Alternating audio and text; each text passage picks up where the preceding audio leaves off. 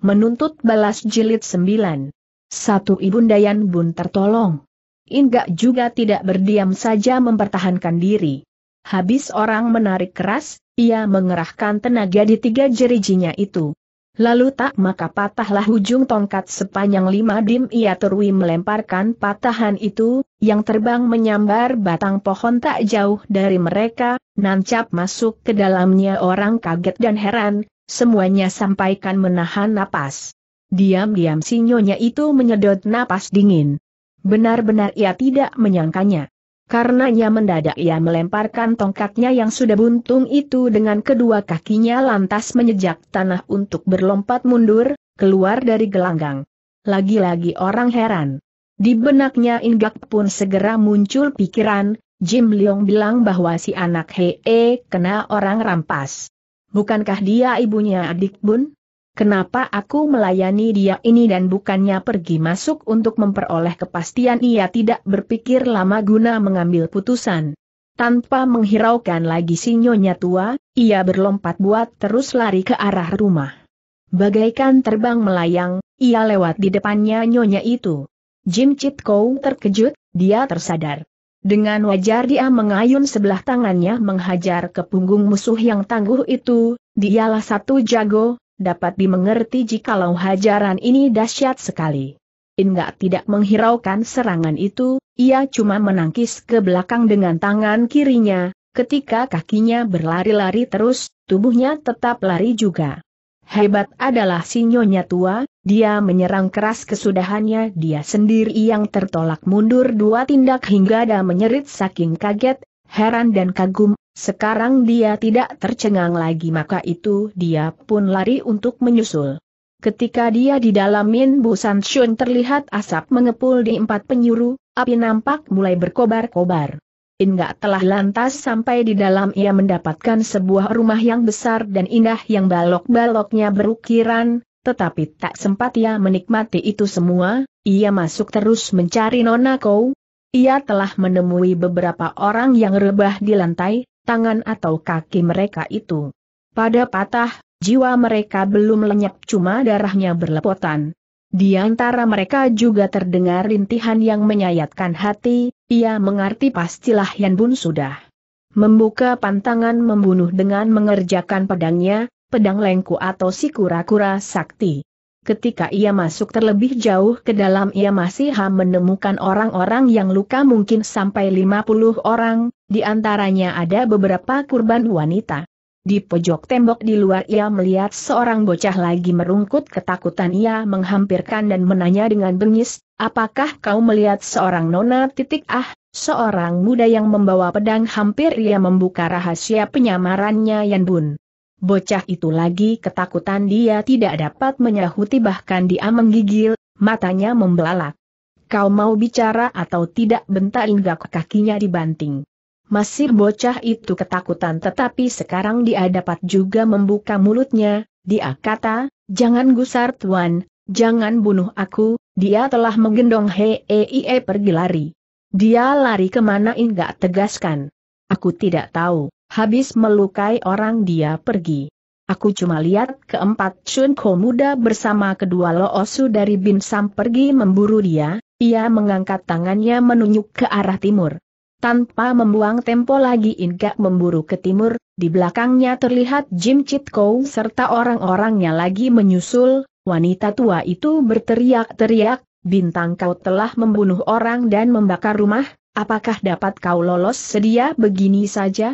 Inggak dengar suara itu, ia berpaling, matanya memandang tajam.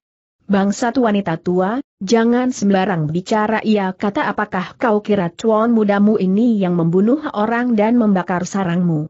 Baiklah kau ketahui di dalam Min Busan Siung itu semua orang dibunuh mampus layak.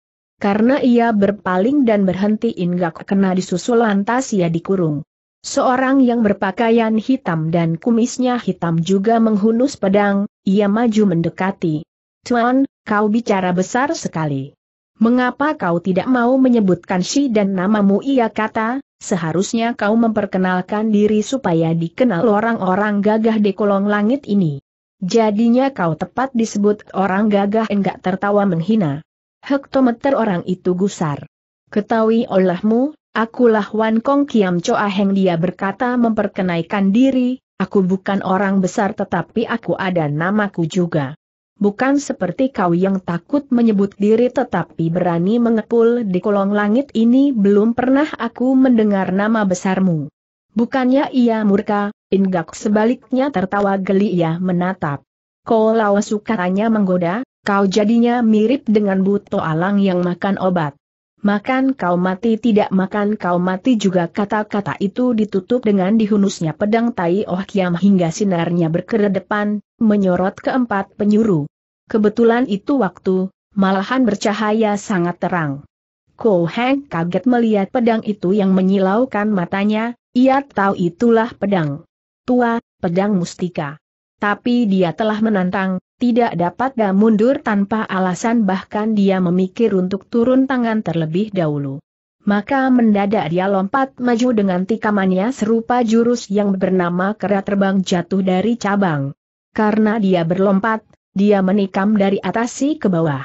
Dia gesit sekali, serangannya pun sangat cepat.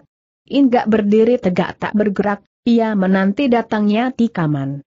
Tepat orang tiba di mukanya kaki kanannya berkibar ke kanan hingga ia lantas berada di samping orang, terus menggeser pula ke belakang, tangan kirinya lantas membacok ke pundak bagian belakang dari Wan Kong Kiam. Sembari membacok dengan tangannya itu, yang dibuka, ia mengasih dengar tertawa dingin. Ko Heng kaget bukan main. Begitu sebat orang berkelit dan tahu-tahu orang telah berada di belakangnya, ia seperti merasa bajunya sudah terbentur tangan musuh itu. Dengan gugup ia lompat mencelat dengan jurusnya burung jenyang menyerbu langit terus ia mengubah itu dengan jurus burung elang menyambar kelinci, itu artinya ia terus berjumpalitan kepala di bawah kaki di atas. Ketika ia turun, dengan pedangnya ia membalas menyerang. Inggak kagum juga untuk kegesitan lawan ini, ia tidak takuti tikaman itu, ia berkelit untuk mengasih lewat, kembali berkelit, ia menggempur batang pedang untuk membuat pedang itu mental ke samping.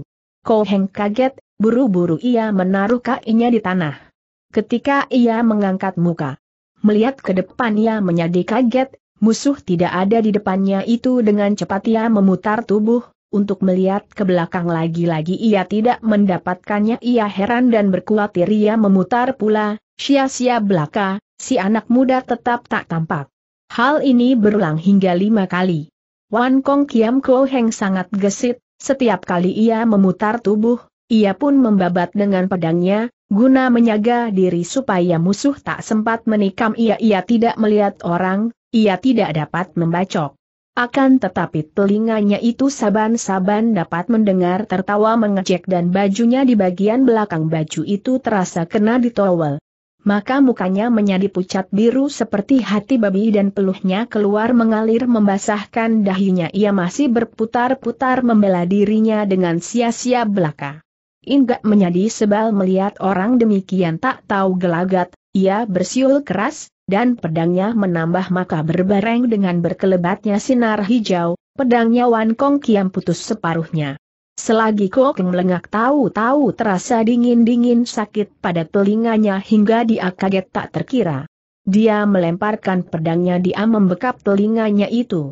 Maka tangannya lantas berlepotan darah hidup, sebab telinganya telah lenyap sebelah. Akan ku ampuni jiwamu, aku pinya mulutmu berkata Jien, Umumkanlah bahwa pedangku tak ada tandingannya di kolong langit ini. Siapa tidak puas dia boleh datang cari tuan mudamu. Semua nama itu kosong belaka, aku pun tak ketentuan tempat kediamanku, maka siapa mau cari aku, dia kenali saja rupaku. Belum hilang suaranya anak muda ini atau ia melihat menyambarnya tujuh buah titik. Hitam, cepatnya seperti bintang jatuh, itulah senjata rahasia Paku Hek Bong Leng dari Jim Chit Kou. Nyonya ini penasaran sekali, dia tahu musuh terlalu lihai maka dia menyerang dengan serau pakunya itu. Dia menyerang dengan timpukan Hoan Tian Hoa Ie, atau hujan bunga memenuhkan langit. Paku itu panjang satu dim, telah direndam di dalam racun, ujungnya persegi enam, diperuntukkan merusak hiekeng atau tenaga dalam kalau mengenai paku itu terbelah dan nancap ke dalam, siapa terkena itu, dia sukar dapat pertolongan. Juga penyerangan biasa dilakukan saling susul, ada kalanya yang belakangan melombai yang terdahulu. Inggak menduga kepada senjata rahasia, maka ia memutar diri seraya memutar juga pedangnya, akibatnya ialah suara tingtong nyaring yang berulang-ulang lantas semua paku itu runtuh ke tanah. Citko penasaran ia mau mengulangi serangannya, Fa memang menyiapkan banyak paku beracun itu, ia pandai melepaskan 9 sampai 11 batang paku dengan kedua tangannya. Tapi timpukannya dengan senjata rahasia itu membuat enggak gusar sekali sebelum ia menimpuk pula ia sudah diserang. Luar biasa gesitnya si anak muda, tahu-tahu dia sudah berada di depan orang dan pedangnya menyambar. Citko kaget dan berteriak, ia berkelit tetapi tidak urung, lengan kirinya telah terbabat kutung lengan yang lagi diangkat itu diayun itu, membarengi itu tangan kiri Inggak pun melayang menghajar pundak kanan si nyonya tua maka menyeritlah dia, tulang pundaknya remuk. Tubuhnya teriempar, lengan kirinya yang buntung terus mengalirkan darah, tangan buntungnya menggelak di tanah, jari-jari tangannya masih mengepal hek bonteng. Semua orangnya wanita jago itu menjadi kaget semua berdiri menyublak, muka mereka pucat pias. Dengan metu bengis Inggak mengawasi mereka itu, ia tertawa mengejek, kemudian ia masuki pedangnya ke sarungnya, terus ia lari pula ke arah timur. Tidak ada orang yang berani menghalang-halanginya. Citko lantas ditolongi, untuk dipimpin bangun dari tempatnya roboh numprah. Tapi ternyata dia telah putus jiwa. Ko Heng membanting-banting kaki, ia sangat penasaran, maka juga ketika kemudian meninggalkan In Busan Chung, ia mencoba menghasut ke sana sini untuk mengacau rimba persilatan guna menyeterukan si anak muda. Inggak lari terus ke timur tanpa menghiraukan apa yang terjadi di belakangnya itu, hanya sekarang ia lari sembari memperhatikan jalanan untuk mencari tapak-tapak kaki atau bekas-bekas pertempuran. Kalau Yan Bun dikejar banyak orang, ada kemungkinan dia kecandak dan mesti mengadu jiwa untuk membela dirinya. Bukankah si Nona menyingkir dengan menggendong atau memanggul ibunya? Tapi ia telah lari kira-kira 30 li tanpa mendapatkan sesuatu, ia heran. Itu waktu matahari sudah mulai selam di arah barat, angin gunung bertiup santer, awan putih saban-saban melayang dalam gumpalan-gumpalan. Untuk memasang Metinggak berhenti di atas sebuah batu besar, ia tidak melihat si Nona kecuali di kejauhan tampak sungai Hang Hao berliku bagaikan ikat pinggang saking heran dan berkhawatir ia mesti jadi berpikir keras. Bukankah si bocah mengatakan dia lari ke timur? Kenapa aku tak menemuinya? Kenapa dia tak ada bekas-bekasnya? Mungkin bocah itu mendusai aku berulang-ulang ia tanya dirinya sendiri bocah itu tidak membohong. Yan Bun benar menyingkir ke arah timur, hanya kemudian mengalih lain arah tanpa merasa. Lah menggendong ibunya, ia mesti menjauhkan diri dari pengejar-pengejarnya, terpaksa ia lari sana dan lari sini kesudahannya ia lari ke arah yang bertentangan. Setelah memandang sekian lama Inggak lari balik selagi mendekati Inbusan Chung, ia menampak orang repot memadamkan api yang berkobar-kobar dan asap mengepul-ngepul, tak mau ia menonton, ia meninggalkannya, ia pergi ke tempat yang dijanjikan di depan air tumpah. Di situ ia tidak mendapatkan si Nona, cuma seng air tumpah serta munkeratannya yang mirip kabut ia berdiri diam, ia bagaikan kehilangan suatu apa. Tidak lama pemuda ini berdiam di situ bagaikan orang baru sadar, ia lari ke arah Ebusan Chung, ia melihat sarangnya Liong Bun Go Koai rusak tiga bagian, tinggal yang bagian barat tertolong. Di saat itu penyagaan menjadi kendor sendirinya. Tanpa rintangan ia pergi ke rumah bagian barat itu. Di depan jendela ia bersembunyi di cabang pohon gowotong, Hari pun sudah maghrib maka semakin sulit untuk mengetahui ada orang mengumpat di pohon itu sebaliknya dari situ orang dapat memandang ke dalam rumah dengan leluasa. Dengan dibantu tiga saudaranya, itu waktu Jim Leong terlihat masuk ke dalam ruangan untuk dia berduduk. Dia dibalut lengan dan pahanya yang kanan, balutannya demak dengan darah hitam. Tiga yang lainnya bermuram doja, mereka duduk mengitari sebuah meja marmer putih. Jim Hou masih gusar sekali, ia menepuk meja dengan keras hingga meja itu rengat. Aku tidak percaya pemuda itu demikian lihai ilmu pedangnya katanya sengit. Besok aku nanti cari dia, sampai pun keliling jagat aku mesti dapatkan dia. Jieko, jangan kau membuat orang menertawakan kau, berkata Jimpa yang mengasih dengar suara dari kemendung kolan, hektometer ia menambahkan, lihat ibu yang demikian gagah, ibu masih tak dapat menangkis satu tebasan saja. Umpama kata kau dapat menemui dia, kau bisa bikin apa? Inggak tertawa dalam hati, orang lagi membicarai tentang ia, ia memasang telinga, Jim Hou gusar, matanya mendelik. Habis tanyanya. Sakit hati begini besar, apakah kita sudahkan saja? Siapa bilang sudah saja sahut Jimpa dingin, kita harus berpikir dulu, jangan seperti kau cuma menuruti adat. Mata Jim Hou mendulik, mau ia mengutarakan kemurkaannya tetapi Jim Leong mengulapkan tangannya. Sabar, katanya, benar juga apa yang adikmu bilang. Kau tidak sabaran adik Hou, kau harus dapat mengubah tabiatmu itu, kedua anak muda itu dua-duanya lihai sekali. Yang harus disalahkan ialah kita sendiri yang terlalu besar kepala. Kita menganggap siapa melanggar werindusan Shun di bagian mati. Untuk banyak tahun orang mentaati aturan kita tanpa perkenan tak ada yang diizinkan masuk tak ada yang berani lancang memasukinya. Kita lalu menyadi apa sendirinya, Sampai sekarang muncullah kedua pemuda itu, ia berhenti untuk menghela napas. Kau tahu, ia menyambungi kalau tidak Bin San Elo datang cepat, tentulah jiwaku tak dapat ditolong lagi, kau sebaliknya bicara enak saja, adikku Jim Hou berdiam.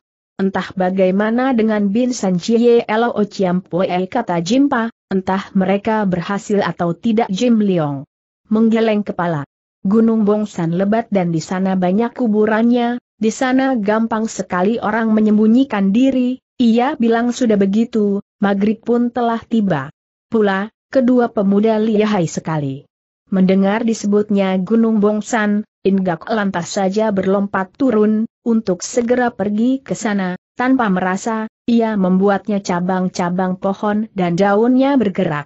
Jim Hou melihat bergoyangnya pohon segera ia menyerang dengan paku Hek Bong Teng serangan ini disambut dengan tertawa menghina lantas pakunya itu. Menyambar balik, menghajar meja di depannya, hingga munkratlah lelatu apinya. Berbareng dengan Jimpa, Jim Hou berlompat keluar tetapi tanpa hasilnya, daun-daun pohon bergoyang karena sampokan angin, orang tak nampak, bayangannya pun tidak ada, dengan lesu mereka kembali ke dalam, tahulah mereka sia-sia belaka untuk menyusul musuh yang tak terlihat. Indak berlari terus, ketika ia ditimpuk ia menangkis ke belakang tanpa memutar tubuh, ia menggunai jurus huruf gempur dari Bielek Sin Kang, maka paku Hek Bong Teng kena disampok kembali. Tidak ada tempo untuk melayani persaudaraan Jim itu. Keras luar biasa ia lari ke arah Gunung Bongsan. Ketika ia sampai langit sudah gelap jagat diterangi kelak-keliknya bintang-bintang serta si putri malam yang guram sebab rembulan masih rembulan CCR seperti gaotan angin. Utara bertiup santer sekali. Di antara berbagai kuburan, Inggak mencari. Beberapa kali ia terhuyung, bukan karena letih, hanya disebabkan hati yang kosong, tak juga ia melihat Yan Bun di sana pun tak ada Bin San Chie Tok serta lainnya orang Lin Bu San Shun yang mengejar Nona Kou. Luasnya pegunungan 400 li lebih, sulit untuk menjelajahnya semua, mencari empat orang di sana mirip dengan mencari jarum di dasar laut titik. Tak puas hingga sebelum ia dapat mencari kekasihnya itu, ia mencari terus, paling. Belakang ia berdiri atas tempat yang tinggi, Sembari menenangkan hati, ia memandang ketinggian. Tiba-tiba ia melihat dua bayangan berkelebat, di depannya, terpisahnya belasan tombak. Di sana kedua bayangan itu lantas berhenti. Tiba-tiba saja ia menjadi girang, ia menduga kepada Bin San Chie Tokla percaya kalau kedua jago Bin San itu ada di situ pastilah Yan Bun dan ibunya tak kurang suatu apa, hanya tak diketahui di mana ibu dan anak itu bersembunyi.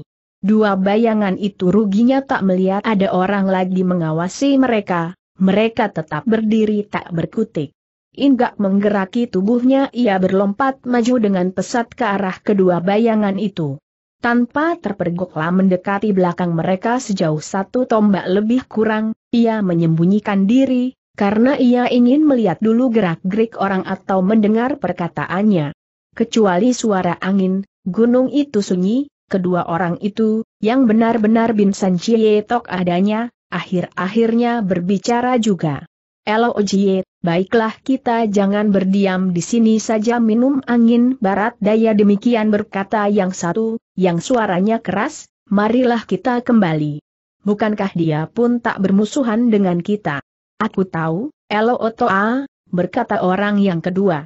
Kalau kejadian ini terluar, bisa terjadi orang Kang Ou mengatakan kita menghina seorang bocah, itulah pasti tak sedap didengarnya, cuma aku lihat bocah itu terkebur sekali, maka aku ingin beri rasa peluru ngotok San Hui Etan kepadanya. Walaupun mereka sudah lama berdiam di Binsan, Binsan Chie Tok dua racun tetap berlagu suara orang utara. Indak sudah memikir untuk mempermainkan mereka itu, sekarang ia mendengar suara mereka yang berniat pulang, ia batalkan niatnya, ia cuma masih mengawasi tajam hingga ia melihat di pinggang mereka tergantung kantung kulit, ia percaya kantung itu banyak isinya, lantaran tak bergoyang-goyang tersampok angin. Mendadak ia mendapat pikiran. Bukanlah peluru itu jahat dan dapat mencelakai banyak orang? Dengan menggunakan Tian Chit Seng Po ia berlompat maju, tubuhnya lantas melesat ke depan. Bin San Chie Tok membelakangi si anak muda, dengan begitu ia tidak mendapat lihat anak muda itu cuma ketika mereka merasai berkesyurnya angin, mereka heran hingga mereka melengak. Segera mereka menyampok ke belakang, dengan tipu silat ular naga emas menggunting pohon WE. Mereka menyampok dengan sebat, akan tetapi mereka mengenai sasaran kosong. Atas itu keduanya saling mengawasi sambil tertawa bergelak. Mereka menganggap bahwa mereka bercuriga tak keruan. Kemudian keduanya berlompat, untuk meninggalkan Gunung Bongsan itu mereka bangsa lihai tetapi mereka tidak mendusin yang kantung-kantung mereka sudah terlepas dari pinggang mereka, kedua kantung sudah pindah ke tangan Enggak yang lihai. Adik Bun enggak memanggil sesudah ia merasa Jietok telah pergi jauh. Tidak lama maka di antara siuran angin terdengar pertanyaan apakah Hengkoin di sana itulah suaranya Yan Bun bukan main girangnya si anak muda. Adik Bun ia berseru, lantas ia lompat, lari ke arah kepala angin, dari mana jawaban itu datang. Ia tidak usah lari jauh akan melihat satu bayangan berkelebat, terus Nona Kou berdiri di hadapannya. Mana plebo adalah pertanyaan si anak muda yang pertama, meskipun luar biasa girangnya telah berhadapan dengan si pemudi. Yan Bun tidak menjawab, dia hanya menyambar tangan orang, untuk dituntun. Maka bersama-sama mereka lari ke kanan, ke arah sebuah kuburan tinggi sepuluh tombak lebih, pastilah itu kuburannya raja, panglima perang atau perdana menteri di suatu zaman dulu, Inggak tidak sempat memperhatikan batu nisannya, untuk membaca dan mengetahui siapa yang rebah dengan damai di dalam pekuburan itu, sebab ia terus memperhatikan Nona di sampingnya. Yan Bun menyalakan api, terus ia menggeser batu nisan, maka di depannya mereka lihat tangga batu terdiri dari belasan undak dari atas turun ke bawah di mana terlihat tempat rata lebar dua kaki, tempat itu gelap dan nampak menyeramkan tapi keduanya masuk ke situ, bertindak di tangga. Segera Inggak melihat seorang wanita yang berpakaian hitam lagi rebah meringkuk di tanah. Yan Bun lompat kepada wanita itu. Ibu ia memanggil. Ya, menyahut wanita itu lemah. Sinona memegang tubuh wanita itu, untuk dikasih bangun, hingga dia dapat duduk sambil menyendarkan tubuh. Sekarang Inggak dapat melihat seorang nyonya yang romannya juga kecantikannya sangat mirip Yan Bun hanya, disebabkan penderitaan belasan tahun, dia kucal dan lesu, di jidatnya ada garis-garis tanda dari penderitaan dan kemas gulan cuma matanya yang agak tajam. Nyonya itu lantas mengawasi padanya. Inggak menduga orang ingin melihat wajahnya yang tulen, maka ia lantas menyingkirkan topengnya, atas itu si nyonya berseru, oh dan matanya bersinar, senyumnya pun lantas nampak, hanya sejenak kemudian dia menghela napas dan berkata dengan perlahan Yan Bun, sekarang ini ibumu mirip sampah. Apakah gunanya kau menolongi ibumu? Tapi lega hatiku melihat kau telah mempunyai andalan. Ibu, berkata si anak. Jangan ibu berkata begini, biarnya anakmu hancur lebur, anak mendayakan supaya ibu dapat disembuhkan. Inggak telah lantas melihat, nyonya itu lemas tubuhnya akibat totokan di bagian imhiat, bahagian terlarang maka ia tidak bisa lantas menanyakan, baru sekarang ia berani campur bicara. Adik bun, apakah Pebo terluka tanyanya. Nona itu berpaling, mengawasi anak muda, ia agaknya berduka tercampur penasaran. Ketika ibu ditawan, ibu dipaksa menikah dengan Jim Leong, sahutnya Sogit, LBU berkeras menolak, atas itu ibu ditotok pelbagai jalan darahnya, hingga tangan dan kaki ibu tak dapat digeraki lagi ibu mau dipaksa, Ibu diancam, katanya satu hari ibu tidak menerima, satu hari ibu tak akan dibebaskan coba pikir, mana dapat ibu menerima. Begitulah sekian lama ibu dibikin tidak berdaya, untunglah ibu masih dikasih makan tiga kali setiap hari hingga jiwa ibu ketolongan dan wanita tua bangsat itu juga melarang Jim Leong memperkosa, jikalau tidak. Tanpa tertahan lagi, Nona ini menangis. Tapi ia memaksa menguati hati, ia tanya, engkau indapatkan sehoa gui penglok menolongi ibu. Inggak terharu, setelah berpikir sebentar ia menjawab, jikalau pebo ditotok belum lama, ia dapat disembuhkan dalam waktu dua tiga hari tetapi sesudah bertahun-tahun, hingga ia menjadi lemah sendirinya waktu kesembuhannya tak dapat dalam waktu yang singkat. Untuk itu dibutuhkan obat yang mujarab, yang dapat menyalakan darah dengan baik serta daya menambah kekuatan. Mungkin Seihoatu dapat menolong tetapi lama untuk pergi ke tempatnya mana dapat Peoboar melakukan. Perjalanan demikian jauh. Aku mengerti juga tentang ilmu pengobatan, hanya sini ada soal pria dan wanita. Cia Hiantit, tiba-tiba berkata si Nyonya, yang pun langsung memanggil Hiantit atau keponakan, di dalam rimba persilatan tak ada pantangan demikian hebat, laginya kau dengan Yan Bun. Mendadak nyonya itu berhenti agaknya dialikat. Inggak cerdas, ia lantas dapat membadai hati nyonya, nyatalah ia sudah dipandang sebagai separuh anak. Tentulah Yan Bun sudah bercerita jelas pada ibunya tentang ia dan nona itu dan ibu itu sekarang menganggapnya sebagai bakal mantu, Hingga terhadapnya nyonya itu Seng bakal mertua sudah tidak malu-malu lagi ia menjadi terharu tetapi tetap ia ragu-ragu. Yan Bun mendengar perkataan ibunya, di sinar api terlihat mukanya menjadi merah tetapi girang, maka kemudian ia tertawa dan kata, Oh, Engkuin, kau juga mengerti ilmu pengobatan.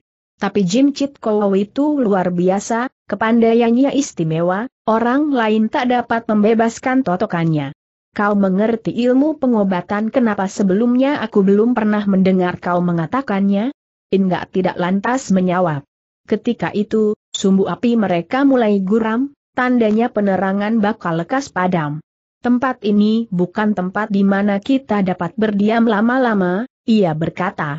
Aku percaya Bin San Tok bakal lekas kembali kemari, barusan aku telah sambar kantung obat mereka maka begitu mereka mengetahuinya mesti mereka datang mencari sekarang, adik Yan Bun, mau aku pergi keluar untuk menjaga mereka, kau sendiri lekas kasiap ibumu harus dibawa ke Tian Ma Piao Kiok di Kaihong, di sana kita nanti mendamaikan lagi urusan menyembuhkannya.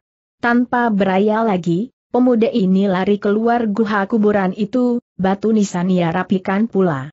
Ketika itu langit penuh dengan bintang-bintang dan bulan sisir terlihat dengan cahayanya yang guram.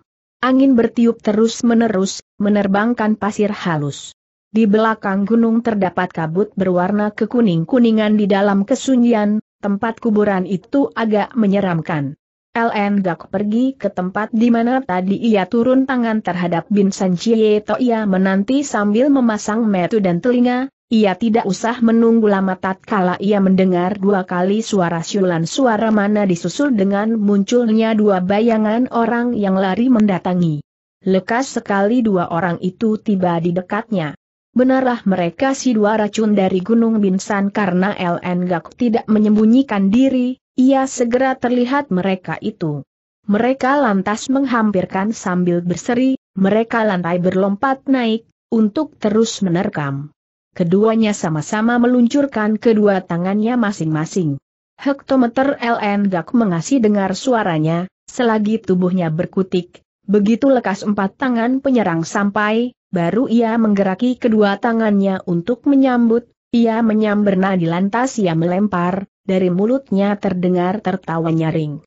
Bin Sanchieto kaget, mereka melihat tubuh terpental tinggi, terus jatuh di tempat beberapa tombak, itulah gerakan naga berputar naik ke langit. Mereka pun mendengar orang itu tertawa berkakak. Di dalam hati mereka heran dan kagum orang itu mempunyai kepandaian enteng tubuh yang lihai sekali. Mereka juga heran untuk diri mereka sendiri. Ketika tangan mereka disambuti, habis tenaga mereka, tubuh mereka menjadi lemas, tetapi selekasnya mereka terlepas dari cekalan, mereka merasa sehat seperti biasa, ini menyatakan lihainya orang itu. Dengan tertawa meringis mereka saksikan orang berdiri di amseraya mengawasi mereka sambil tersenyum. Meski juga mereka menginsafi orang si anak muda lihai sekali, si dua racun ini tak dapat mengendalikan hawa amarah mereka. Mereka merasa terhina sekali, serentak sambil berseru mereka lompat pula untuk menubruk kali ini mereka melesat jauh terlebih pesat daripada tadi sembari berlompat itu, mereka mengasih dengar suara dari kemarahan mereka. Inggak hendak mempermainkan orang, inilah care untuk menang waktu, ia melihat orang berlompat naik, ia berdiri tak bergerak. Si dua racun dari Binsan berlompat di timur satu dan di barat satu.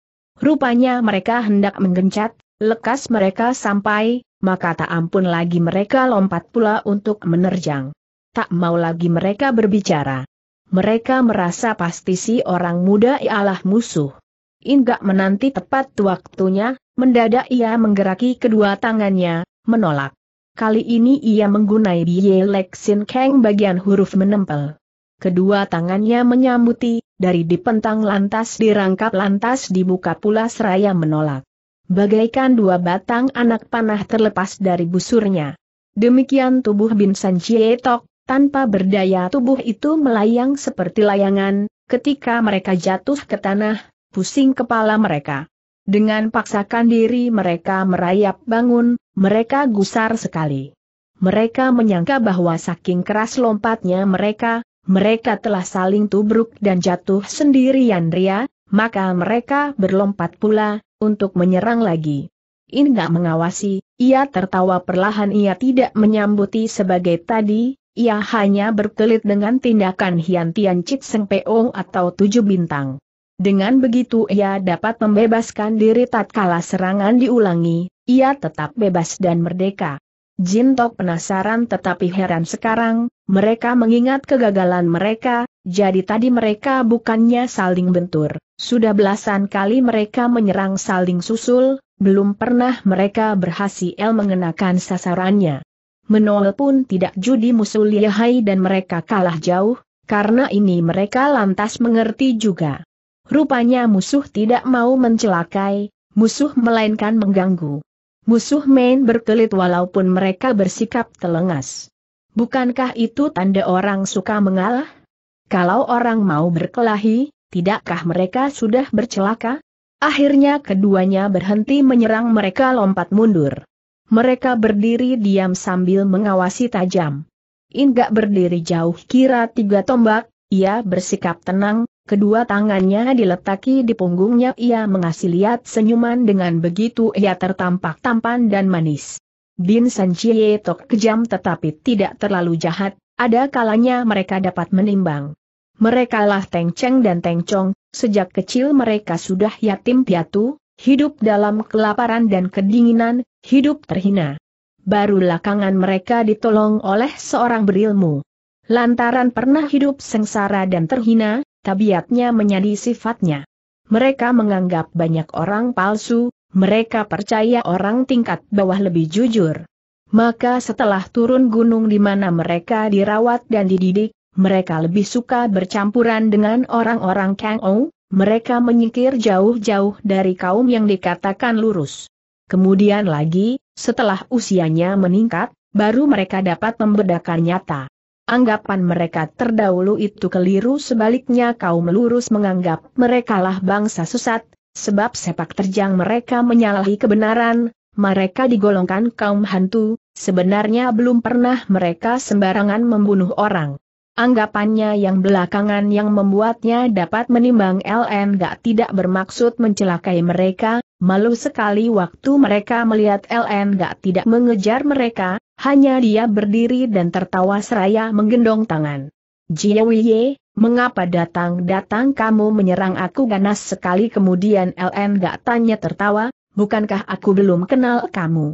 Ah, dia benar mereka pikir ketika ditegur itu kantung kita hilang tanpa ketahuan siapa yang curi, kenapa sebelum menanya jelas kita lantas menyerang dia dan secara hebat?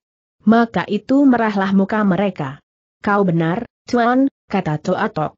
Racun yang nomor satu kejadiannya adalah begini, tadi kami berdua berada di sini, tanpa ketahuan kantung kami yang digantung di pinggang lenyap tak terasa, tak tahu kami siapa yang curi, kami lekas kembali kemari lantas kami melihat Tuan berada di sini seorang diri.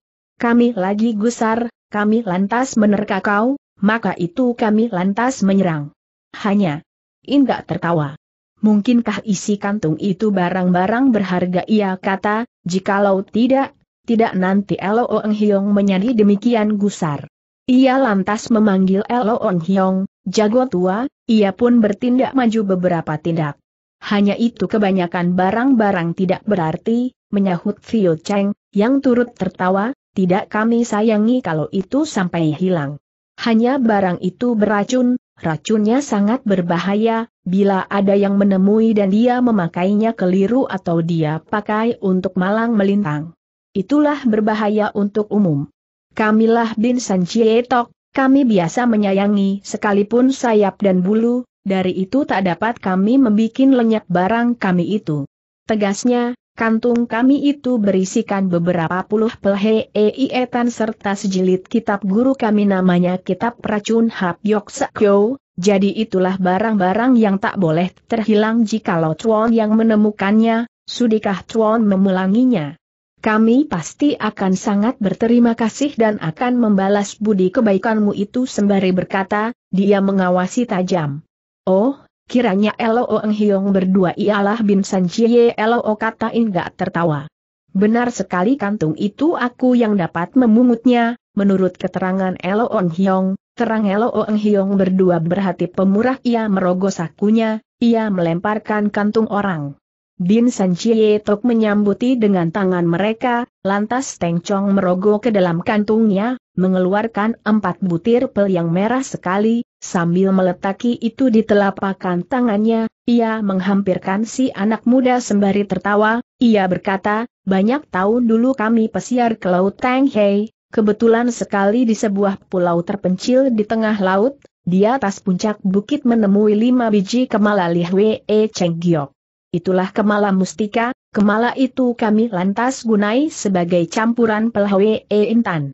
Ini, khasiatnya ialah untuk mengobati luka di otot dan tulang-tulang, buat melumerkan darah yang sudah beku, untuk membalas budimu, sukalah kau terima pel ini.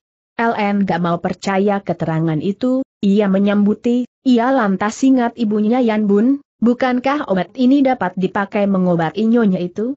Aku tidak sangka Elo Eng Hiong yang begitu baik hati kata ia. Bukan saja Elo Eng Hiong tidak menggusari bahkan menghadiahkan obat ini sebenarnya aku malu, tapi, ia berhenti sebentar ia tertawa dan berkata pula. Kita dapat bertemu, Jiewie Tu Eng Hiong, inilah jodoh kita sebenarnya juga, obat ini ada perlunya untukku, yang hendak segera menggunainya, aku pun merasa malu karena aku tidak dapat membalas budi Elo Eng Hiong ini, maka haraplah Jiewie ingat saja, Apabila di belakang hari Jiewie membutuhkan bantuannya Ko Ai Chiu Sieseng, tidak nanti aku berpeluk tangan saja. Oleh karena ia tetap memakai topengnya, meski apa pun ia biang, enggak tidak mengasih kentara apa juga pada mukanya. Bin Sanjieto kaget sekali, hingga mereka mengeluarkan seruan tertahan.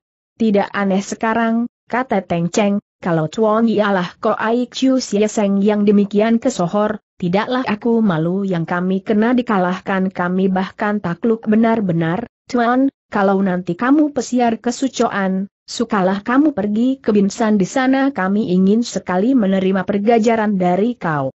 Habis berkata, dia memberi hormat demikian juga Teng Chiong, Seng adik, lantas keduanya memutar tubuh, untuk berlompat pergi, hingga sebentar saja mereka sudah lenyap di antara banyak kuburan. Inggak mengawasi sambil berpikir, benar-benar aneh. Adakah ini takdir?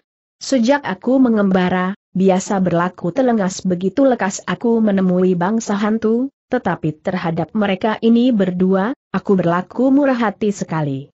Rupanya karena sikapku ini, aku menjadi mendapatkan pelahwe intan ini. Senang hatinya anak muda ini, lantas ia lari ke arah kuburan tempat sembunyian bun dan ibunya ia terus masuk ke dalam di mana ia mendapatkan si Nona dan ibunya lagi duduk berendeng di tangga batu, keduanya asik bicara. Ketika mereka mendengar tindakan kaki, lantas mereka menoleh. Engkuin, apakah kau telah selesai mengusir Bin Sanjie Tok Yan Bun menyambut sambil tertawa. Sebaliknya sahut si anak muda tertawa juga, kita justru menjadi sahabat-sahabat baik, sekarang ini mereka itu sudah pulang ke Binsan, adik bun, aku hendak menyampaikan kau kabar baik ibumu bakal segera ketolongan. Tak usah lewat tujuh hari, aku tanggung Pebo dapat bergerak dan berjalan seperti sedia kala, Nona kau kaget, ia heran matanya bercahaya ia berlompat bangun. Benarkah, Engko ini tanya. Sungguh kau baik sekali, tapi, ah, jangan kau membohongi aku. Nyonya Kong menoleh, ia menghela napas. Sulit, Hianti Tia berkata pertama-tama totokannya si wanita tua bangsat sukar dibebaskan di sebelah itu sudah belasan tahun tubuhku seperti mati, otot-ototku sudah kaku, darahku sudah kering titik mana dapat itu dilumerkan dalam tempo tujuh hari? Kau tentu khawatir aku menjadi tawar, hatiku menjadi putus harapan, maka kau hendak menghibur aku, benar bukan? Yan Wan pun mau percaya ibunya, tanpa merasa air matanya mengembang LN Gak mengasih lihat main sungguh-sungguh. Tidak Pebo, tak aku mendustai ia kata, bukan kebiasaanku untuk omong dari hal yang tidak benar, baiklah Pebo legakan hati. Aku berani menyamin, dalam waktu tujuh hari Pebo akan sudah sembuh. Habis berkata LN gak memberikan dua butir pil pada Yan Bun dengan minta nona itu segera minta ibunya lantas menelannya. Nyonya kau makan obat itu, matanya menatap si anak muda, agaknya ia bersangsi. Inggak pun mengawasi, ia bersenyum, ia berdiam beberapa saat atau mendadak ia menyerang ke arah nyonya itu, ia menggunai pukulan Leng Hong Tai Hiat Sin Kie Chiu Bun yaitu ilmu membebaskan totokan udara kosong artinya tanpa tangan mengenai sasarannya. Sasarannya ini adalah empat jalan darah nyonya Kou di kedua sisi tubuhnya, yakni Tian Kie, Kie Bun, Hie Xia dan Si E Kie.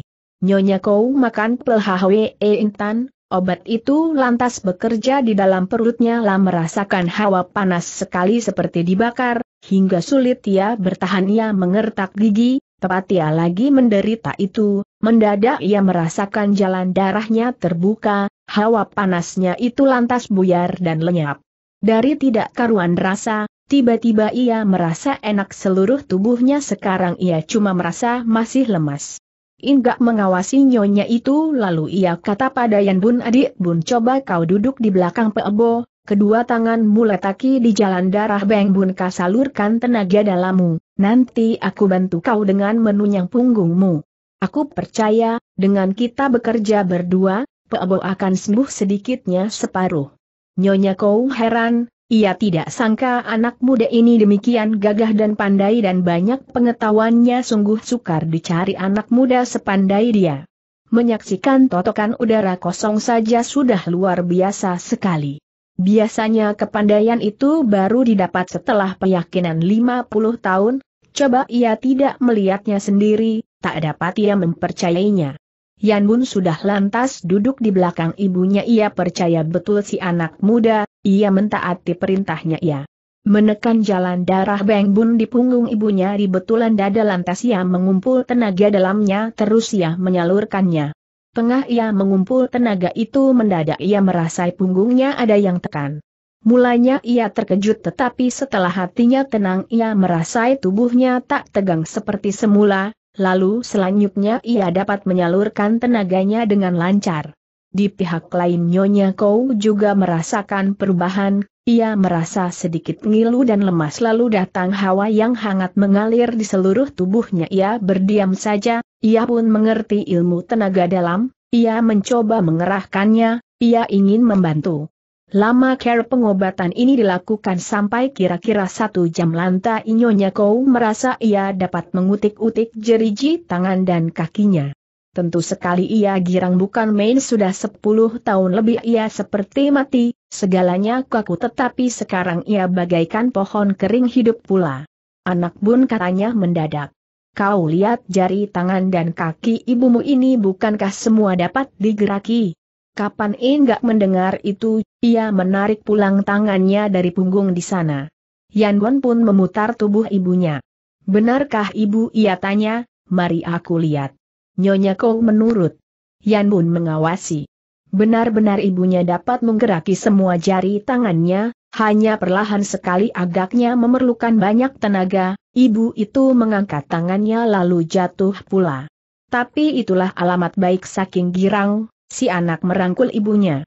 Anak dan ibu lantas mengucurkan air mata air mata kegirangan LN gak membiarkannya sekian lama.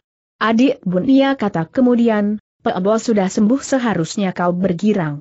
Tinggallah waktu untuk berobat. Terlebih jauh, sekarang kau tunggu aku mau pergi ke Lokyang, guna menyewa kereta untuk menyambut kamu, kau temanilah Pebo beromong-omong. Habis berkata, anak muda itu lantas meninggalkan kuburan bagaikan bayangan ia berlari-lari ke arah kota, di atas si putri malam membayanginya di bawah seng angin meniup tak hentinya, ia pergi tanpa tak berpikir, ia anggap dan Bun lebih berbahagia daripadanya, bukankah si Nona telah menemui ibunya dan sekarang ibu itu dapat dianggap sudah sembuh betul ia mengira ketika tadi ia menyaksikan ibu dan anak itu saling merangkul ia sendiri tak dapat berbuat begitu maka tanpa merasa air matanya bercucuran. Syukur ia lantas sampai di kota tujuannya. Untuk itu ia memakai waktu tak lebih dari setengah jam ia tiba di luar kota timur di mana ada terdapat seratus lebih rumah penduduk. Hari sudah tengah malam, sudah sepi, rumah-rumah telah mengunci pintu. Di jalan besar ada kertas sisa perakan, udaranya pun masih berbau belirang, di sana-sini terdengar suara anjing menggonggong. Jadi di situ cuma ia sendiri yang masih bergentayangan. Ia menghampirkan sebuah rumah yang menyewakan kereta keledai, ia mengetuk pintunya, yang muncul ialah seorang tua yang sudah ubanan rambut dan kumisnya. Dengan mengangkat lenteranya ia mengawasi si anak muda. Tuan, baru malam tanggal 7, apakah kau hendak menyewa kereta tanyanya? Benar si anak muda mengangguk aku ingin sewa kereta keledai empat. Aku hendak mengantarkan sanaku yang lagi sakit ke kota Kaihong. Orang tua itu berdiam sekian lama, agaknya ia ragu-ragu. Kereta dan keledainya tersedia, katanya kemudian. Hanya ini masih subuh baru kusirnya masih ingin makan dan minum, habis menenggak arak dia pulang, dia tidur, mereka juga tinggal di dalam kota sedang pintu kota tak dibuka sebelumnya terang tanah. Tuan, kalau kau mau cepat-cepat coba kau cari di lain rumah. Inggak menyodorkan sepotong emas, ia tertawa dan kata, tak usah aku cari lain rumah, sanaku itu terpisah cuma 30 li dari sini, maka aku sendiri dapat mengendarainya. Pergi dan pulang aku akan kembali di waktu terang tanah, maka tolong Loot yang memberitahukan kepada kusirmu untuk dia menantikan di sini saja. Emas itu bergemerlap meskipun potongannya kecil, harganya di atas enam tahil perak. Di zaman itu, Siapa mempunyai emas sepotong itu, untuk keluarga terdiri dari delapan jiwa dapatlah senang hari dilewati tiga tahun? Maka itu teranglah si orang tua, yang bersenyum berseri-seri. Kalau kau sangat membutuhkannya, Tuan, baiklah katanya. Baiklah, nanti aku siapkan keretaku, silahkan duduk di dalam, untuk menanti sebentar hanya uang ini, inilah terlalu banyak. Tidak apa, kata LN Gak. Uang lebihnya Loot yang boleh pakai untuk belanja lainnya, silahkan pasangi kereta, aku akan menantikan di sini, ia bertindak maksud dan duduk di bangku panjang. Cuan rumah bertindak cepat ke istalnya ia bekerja sebat. Tidak lama ia sudah muncul dengan keretanya yang ditarik empat ekor keledai.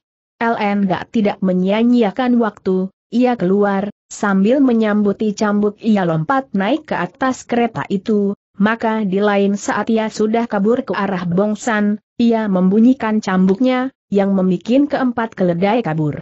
Tiba di kaki gunung, Inggak dapatkan sudah kira-kira jam 4, Yan Bun mundar-mandir di depan kuburan, untuk menunggui ia lantas lari ke dalam untuk memberitahukan ibunya yang dia terus gendong untuk dibawa ke kereta. Maka lekas juga Nyonya Kou sudah duduk menyender di dalam kendaraan itu. Inggak menanti sampai ibu dan anak itu sudah duduk rapi, ia menurunkan tenda kereta, ia terus menyalankannya pula kembali ke lok yang sekarang kereta tidak lagi dikaburkan, hanya dikasih jalan perlahan, maka setelah jauh pagi tibalah mereka di rumah sewaan kereta di mana kusir menanti. Dengan begitu, di lain saat rombongan ini sudah menuju ke kota Kaihong. Kusirnya dua orang, mereka saban-saban menyabat keledai mereka. Di dalam kereta barulah Yan Bun sempat menuturkan bagaimana ia memasuki Inbusan Shun guna menolongi ibunya, sembari tertawa si Nona berkata, Engko In, hebat itu tiga jurus ilmu silat memotong otot dan memutuskan nadi yang kawajari aku. Di waktu aku masuk ke dalam aku tidak menemukan perlawanan yang berarti. Adalah ketika aku lari keluar sambil menggendong ibu, Aku mesti bekerja keras. Aku dikejar banyak orang, aku lari tak keruan jurusan, aku cuma mencari arah yang dirasai sepi. Tanpa aku merasa aku sampai di Bongsan. Keempat siluman tak mau berhenti mengejar aku sulit aku menggunai pedang, terpaksa aku bertangan kosong. Mereka berempat aku sendirian, aku kena didesak. Aku pun capai. Akhirnya terpaksa aku menurunkan ibu, Aku menghunus pedang, baru setelah itu dapat aku memukul mundur empat musuh itu siluman yang tertua terkena tusuk pedangku setelah itu aku gendong ibu pula. Lantas aku dikejar Bin San. Tapi aku sempat menyauhkan diri, aku lari dengan Kyo Kiong Cheng Hoan Im Yang Pou. Baru setibanya di kuburan aku dapat bersembunyi coba aku tidak menguatirkan ibu, tentu aku binasakan keempat siluman itu. Sengit si Nona ketika mengakhirkan penuturannya itu. Syukurlah dengan pertolongan Tian kita semua selamat berkata si anak muda, bersenyum. Sudahlah, sekarang tak usah kita timbulkan pula urusan itu aku sendiri jikalau aku tidak kembali ke Imbusan Shun dan mendengar perkataannya Jim Leong, tidak nanti aku dapat mencari kau ke gunung itu, asyik mereka itu berbicara. Di tengah jalan mereka saling berpapasan dengan orang-orang rimba persilatan akan tetapi tidak ada yang menduga kereta empat keledai itu memuat di antaranya Ko Ai Chiu Sie Sengsi pelajar tangan aneh yang menggemparkan dunia Kang Ou dan rimba persilatan yang menimbulkan peristiwa hebat di kota Taigoan. Banyak orang rimba persilatan yang berlalu lintas untuk urusan pribadinya tapi ada juga yang menyelidiki SI pelajar hanya mereka itu tidak menyangkanya, sebaliknya LN Gak juga belum tahu hebatnya kegemparan itu, bagaimana orang mencarinya. Di dalam kereta, LN Gak dan Yao Bun banyak bicara. Mereka diliputi kegembiraan Nyonya Kou lebih banyak beristirahat, karena itulah dibutuhkan untuknya, di dalam hati ia girang sekali. Demikian mereka membuat perjalanan sampai matahari mulai selam, sampailah mereka di kota Kaihong. Tian Ma Piao Kiok kesohor sekali, dengan gampang Piao Kiok itu dapat dicari. Kereta diarahkan langsung ke sana, ketika LN gak menyingkap tanda kereta sinar matanya. Lantas bentrok dengan bendera besar dari Piao Kio yang bersulamkan empat ekor kuda. Pilihan. Ketika pegawai Piao Kiok melihat datangnya kereta, dia lari menghampirkan untuk menanyakan maksud kedatangan orang. Inggak memberi hormat sembari tertawa, ia kata, To aku tolong sampaikan kepada Suma Elo Piao Yao, bilang bahwa seorang Shigia mohon bertemu dengannya. Mendengar si itu si pegawai mengimplang lantas dia tertawa dan kata, Tuan, bukankah kau adalah Giam Xiao Hiap yang membantu kami selama di KHOK kau? Inggak mengangguk ia bersenyum. Begitu mendapat kepastian itu pegawai itu kaget dan girang berbareng, lantas seperti angin puyuh, dia lari ke dalam sambil berseru-seru. Maka sebentar saja lihatlah Lo Piao Su, Suma Tiong Beng bersama-sama Lo Wit Su dan lainnya Piao Su dengan tindakan lebar, menghampirkan kereta. Suara nyaring dari tuan rumah juga terdengar, Giam Lo Tue, Giam Lo Tue, bikin apa kau menantikan saja di luar silahkan masuk silahkan lantaslah mereka tiba di luar Weringgak memberi hormat. Lo Piao Su baik ia menanya, Chiong Wei Lo Su, baik. Habis saling memberi hormat, Lu Kun bertanya, Giam Xiao Hiap mana? Ada Inggak jawab tertawa, ia tahu maksudnya Piao Su ini, lestriku dan mertuaku masih ada di dalam kereta. Belum berhenti suara anak muda ini, Yan Bun sudah turun dari kereta seraya memayang ibunya. Suma Tiong Beng melihat nyonya itu tak dapat jalan benar ia segera perintahkan memanggil bujang-bujang perempuan untuk membantu. Yan Bun dan ibunya bertemu sebentar dengan tuan rumah lantas di dalam mereka berkumpul bersama nona mantunya Tiong Beng. Tiong Beng sendiri dan lainnya menemani si anak muda di ruang depan. Cuan rumah ini menanyakan hal kepergian si anak muda ke Lokyang dan kenapa mertuanya tak dapat jalan banyak untuk menutur itu sahut si anak muda tertawa. Karena kami bakal berdiam enam atau tujuh hari di sini, nanti saja kami menutur dengan perlahan-lahan. Sumationg Beng mengangguk. Lalu mendadak ia menghela napas. Sepulangku ke Kaihong ini, kembali muncul peristiwa lain katanya kemudian. Indak terkejut. Sebenarnya itulah Ko Ai Chiu Sia Sang Jiein di Taigoan dia toh tak ada hubungannya dengan Lo Piao Su tanya. Inggak. Mau apa orang menyatroni Tian Ma Piao Kiok? Aku si orang Shilo juga mengatakan demikian Lo Kun menyelak, tertawa. Sebenarnya urusan mengenai kejadian di KHO Ki Kau itu Kiu Cebolian Hoan mencurigai kamu suami istri, dia menduga Giam Xiao Hiapi Allah Jiein yang menyamar, Hal itu dia memberitahukan Lo Keng Tek. Maka tadi malam Lo Keng Tek mengutus Pek Lek Chiu Yopa datang kemari menanyakan tentang Xiao Hiap berdua. Yopek itu jago Kuhan Tiong selama beberapa puluh tahun, orangnya licik dan busuk, sepak terjangnya selamanya dalam rahasia, sebab dia bisa bekerja seorang diri. Dialah seorang berbahaya. Setahu bagaimana, Hui Tian Au Chulau Keng Tek boleh mendapatkan dia sebagai tangan kanannya. Ketika dia datang, dia bertingkah jumawa. Lo Piao Su bilang bahwa Lo Piao Su tidak kenal Xiao Hiap berdua, bahwa kita baru saja bertemu satu dengan lain. Kita cuma dapat menerangkan Xiao Hiap pergi ke Lokyang.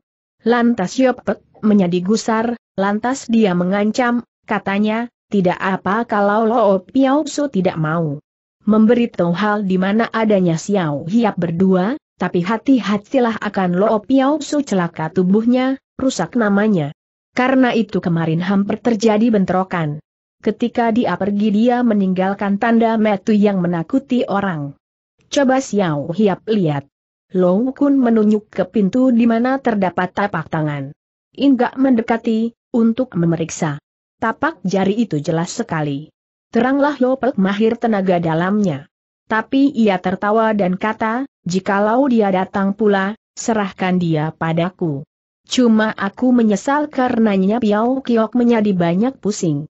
Suma Tiong Beng mengurut kumisnya dan tertawa besar. Untuk kita kaum rimba persilatan, itulah hal biasa. Katanya, gembira. Itulah urusan kecil. Aku minta Xiao Hiap tak usah memperdulikannya. biarnya kau tidak datang hari ini, Lao Tue, aku tidak takut. Siapa dia dapat gertak? Dua tabib muda yang lihai dan sakti. Inggak tertawa, ia terus mengawasi semua Piao Su. Apakah keempat saudara yang itu hari dipagut tular sudah? Sembuh ia tanya. Kenapa aku tidak melihat mereka ditanya begitu, Tiong Beng terlihat berduka. Mereka itu telah terlalu banyak mengeluarkan darah, mereka masih lemah, maka itu mereka masih rebah di pembaringan, ia menyawab. Tidak dapat mereka sembuh seperti biasa dalam waktu pendek. Aku merasa, ilmu silat mereka juga bakal dapat gangguan, tentang anakku dia terluka di dalam, dia muntahkan terlalu banyak darah. Aku telah mengundang semua tabib pandai di kota ini tetapi mereka putus daya. Aku lihat tak lama lagi dia, menggetar suaranya jagot tua ini ia mau bilang tak lama lagi anaknya itu tentu akan berpulang ke lain dunia. Inggak dapat menduga kekhawatirannya Piao Su itu, ia tertawa. Elo Piao tahu haraplah kau ingat itu pepatah yang membilang obat menyembuhkan penyakit yang tidak membawa kematian dan Seng Buddha menolong orang yang berjodoh ia kata, Lo Piao Su jujur dan berhati baik, mana dapat Lo Piao Su berperuntungan malang sukakah Lo Piao Su mengizinkanku melihat putramu itu untuk aku mencoba menolongnya. Sumationg Beng girang mendengar tawaran itu. Suka, suka katanya, ia pun berbareng heran si anak muda mengerti ilmu obat-obatan. Inggak mengulur tangannya mengambil cawan teh, ia genggam itu hingga terdengar suara remasan, hingga cawan menjadi hancur remuk selagi si Piao Su tua heran, mendadak ia bersenyum tangannya diulapkan ke atas Xiao Che, menyusul mana terdengar suara jeritan hebat, yang disusul pula dengan suara barang berat jatuh di genteng, yang pada pecah lalu tertampak bergelindingan jatuhnya empat tubuh manusia. Sekalian Piao Su terperanyat.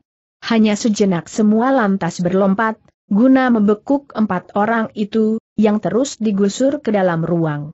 Melihat mukanya keempat orang itu, semua hadirin heran. Muka itu seperti tertancap penuh pecahan beling cawan teh tadi, hingga darahnya sukar mengucur keluar. Muka orang tampak menjadi jelek sekait, tentu sekali mereka tersiksa sangat rasa nyerinya. Inggak memandang bengis pada keempat orang itu, ia kata, kamu harus sesalkan diri kamu sendiri, kenapa kamu berani main gila terhadap cuan muda kamu.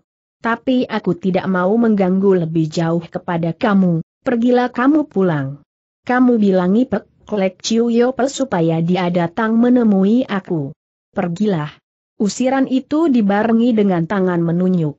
Keempat orang itu takut, tanpa membilang apa-apa mereka berlalu dengan cepat. Mereka memang orang-orangnya Lokeng Tek yang ditaruh di bawahannya Yopek. Lokeng Tek ialah seorang lihai, gagah dan cerdik, maka juga namanya terkenal dan dimulai dalam kalangannya, terutama di wilayah Hao Olok di mana dia menjadi kepala selama 30 tahun, ayahnya Inggak, Tuyehun Toan Bun, pun roboh di tangan dia. Karena itu dia telah didatangi Ieke Goan, yang meminta pikiran dan bantuannya.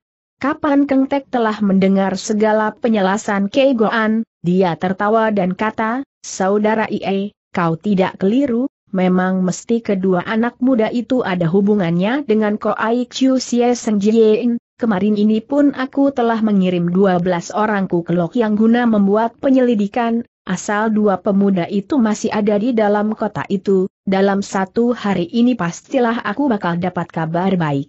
Keng Tek bekerja, ia lantas kirim pesuruh untuk lekas pergi ke Lokyang, guna menemui dua belas orangnya itu, guna memberikan mereka lukisan romannya si dua anak muda, untuk mempermudah penyelidikan mereka itu. Besoknya Keng Tek menerima laporan tentang musnahnya sebagian dari In Busan Chung, bahwa menggunai saat celaka itu, Liong Se Sam Niao sudah melakukan perampokan, Laporan terakhir ialah tentang kedua anak muda belum ada kabar ceritanya. Warta ini membuat kaget pada Hui Tian Chu, si Elang menerbangkan langit, bukankah Jim Chit Kou lihai sekalinya? Tidak menyaksikan jalannya pertempuran tetapi ia biasa membayangi bencananya si Nyonya si Jim, maka ia menjadi berduka sekali. Elo Otong Kee, berkata Yopek yang gusar sekali, menurut aku mestinya Jim Chit Kou terbokong. Tidak demikian, tidak nanti anak muda itu berhasil mengalahkannya. Menurut saudara Ie kedua pemuda itu kenal Sumationg Beng, maka itu baiklah kita bekerja mulai dari Tian Ma Piao Kliok. Aku bodoh tetapi suka aku menerima tugas, nanti aku pergi bersama sejumlah saudara. Aku percaya, tidak sampai lewat tujuh hari, aku akan sudah memperoleh keterangan jelas. Lokeng Tek berpikir, ia berkata, pikiranmu baik, tetapi ingat kecuali sudah sangat terpaksa, jangan kau bentrok dengan Sumationg Beng begitu kau dapatkan warta yang boleh dipercaya, begitu kau mengirim kabar padaku. Baiklah Yopek, tertawa. Aku percaya aku mempunyai cukup kesabaran pun Lui Kiam Kek namanya saja besar, tak nanti aku sembarang melayani dia maka baiklah Elo Otongki jangan buat khawatir. Begitu Yopek berangkat dengan belasan orang pilihan. Begitu tiba di Pian Keng, atau kota Kaihong, langsung ia menuju ke Tian Ma Piao Kio mencari Sumationg Beng menanya Meli tentang si kedua anak muda, ia bicara secara jumawa sekali, hingga pihak tuan rumah jadi sangat mendengkol.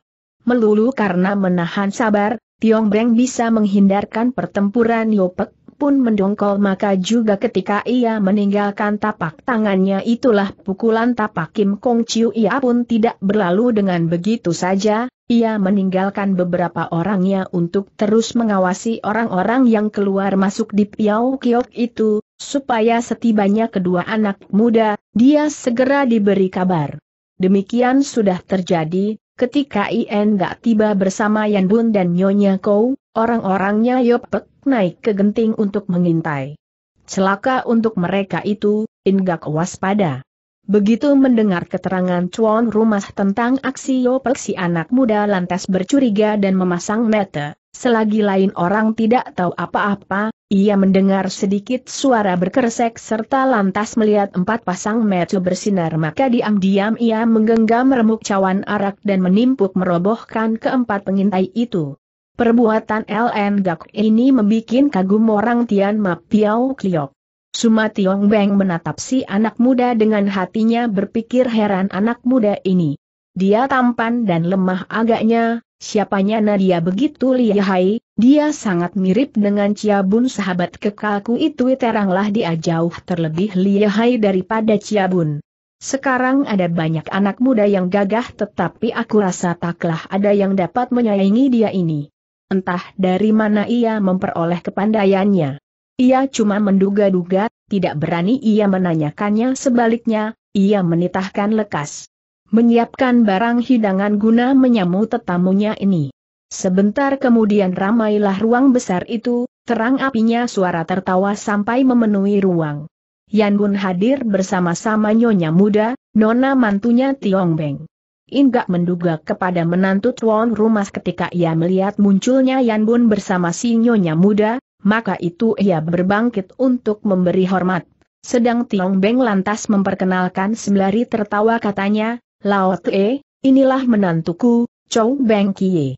Nyonya itu sudah berumur 30 tahun, pakaiannya sederhana, ia tak memakai pupur atau yang cie, toh ia tampak masih cantik.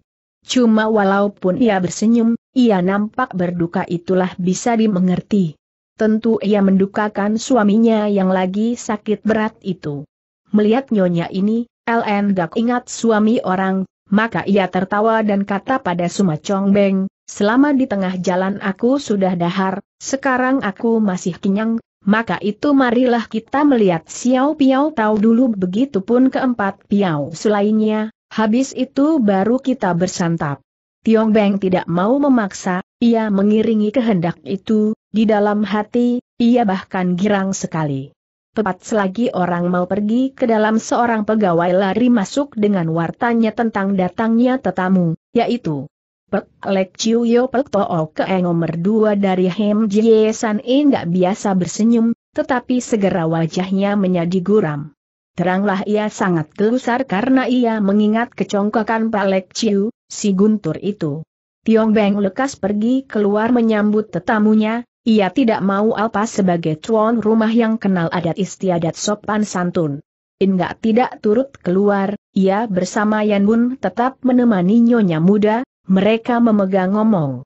Tidak lama terdengarlah banyak tindakan kaki mendatangi, lalu nampak masuknya beberapa orang, di antaranya Tiong Beng jalan di depan dengan tindakan berat, diturut oleh seorang macu besar dan berewokan, yang romannya bengis, begitupun beberapa orang lain, tidak salah lagi orang itu ialah Yobek. Lote, kata Tiong Beng tertawa, inilah. Inggak mengulapkan tangan. Tak usah disebutkan lagi, aku sudah tahu katanya, memotong, tapi ia tertawa, lantas ia awasi Yopel matanya bengis ia pun kata keras Yopel kau mencari aku, kau mau apa? Mau atau tidak? Pek Lek Chiu terkejut juga itulah teguran terlalu mendadak untuknya. Maka ia melengak mengawasi anak muda itu, ia paksakan diri untuk tertawa ketika ia berkata, Giam Xiao Hiap, Care begini kau perlakukan aku si tua kau kurang hormati, ia berlaku tenang tetapi wajahnya muram. Terhadap orang semacam kau apa masih dibutuhkan adat sopan santun? Tanyain gak tertawa-tawar jikalau kau ada bicara, lekas bicara jikalau tidak lekas kau pergi. Bukan main gusarnya Yopek, ialah seorang jago rimba hijau yang biasa memandang enteng kaum rimba persilatan tapi sekarang ia ketemu batunya. Beberapa kawannya juga. Menjadi tidak senang. Suasana buruk itu membuat tegang hatinya sekalian orang Piau Wakyok. Sumationg Beng kata dalam hatinya, dasar anak muda, dialah si anak kerbau yang takut harimau. Aku mesti malu sebab aku yang telah memperoleh nama aku masih mundur mujo. Benar-benar bedalah orang muda. Piek Ciu gusar bukan kepalang, matanya memperlihatkan sinar pembunuhan tapi ia tertawa lebar. Selama 30 tahun, belum pernah aku melihat orang yang berani berlaku kurang ajar begini di depanku. Katanya, bukankah sekarang kau melihatnya Inggak memotong, HHM sekarang lekas kau menyebutkan maksud kedatanganmu. Cuan mudamu muak melihat tingkah polamu ini bocah, kau terlalu galak Yopek membentak. Habis sabar dia. Kau tidak tahu bahwa orang hendak membekukmu sebelum itu, tak puas mereka. Datangku kemari ialah untuk membekuk padamu. Inggak tertawa besar. Loa Piao tahu dengar atau tidak dia tanya Tiong Beng, lihatlah, sekarang ini tubuhku menjadi naik harga sekali Tiong Beng khawatirkan suasana bertambah buruk. Yo Tong Ke, mungkin ada jadi salah mengerti ia datang sama tengah, ini saudaraku yang muda jarang sekali muncul dalam kalangan Kang Ou, care bagaimana dia mendapat salah dari golonganmu. Taruh kata benar aku rasa, tak usahlah sampai kau yang turun tangan. Mukanya Yopek menjadi merah, walaupun dia bandit besar dia toh menginsafi kesembronoannya, lantas dia tertawa kepada tuan rumah. Dia kata sabar, saudara Suma, bocah ini baru dikenal olehnya, kau tidak ketahui keadaannya yang sebenarnya.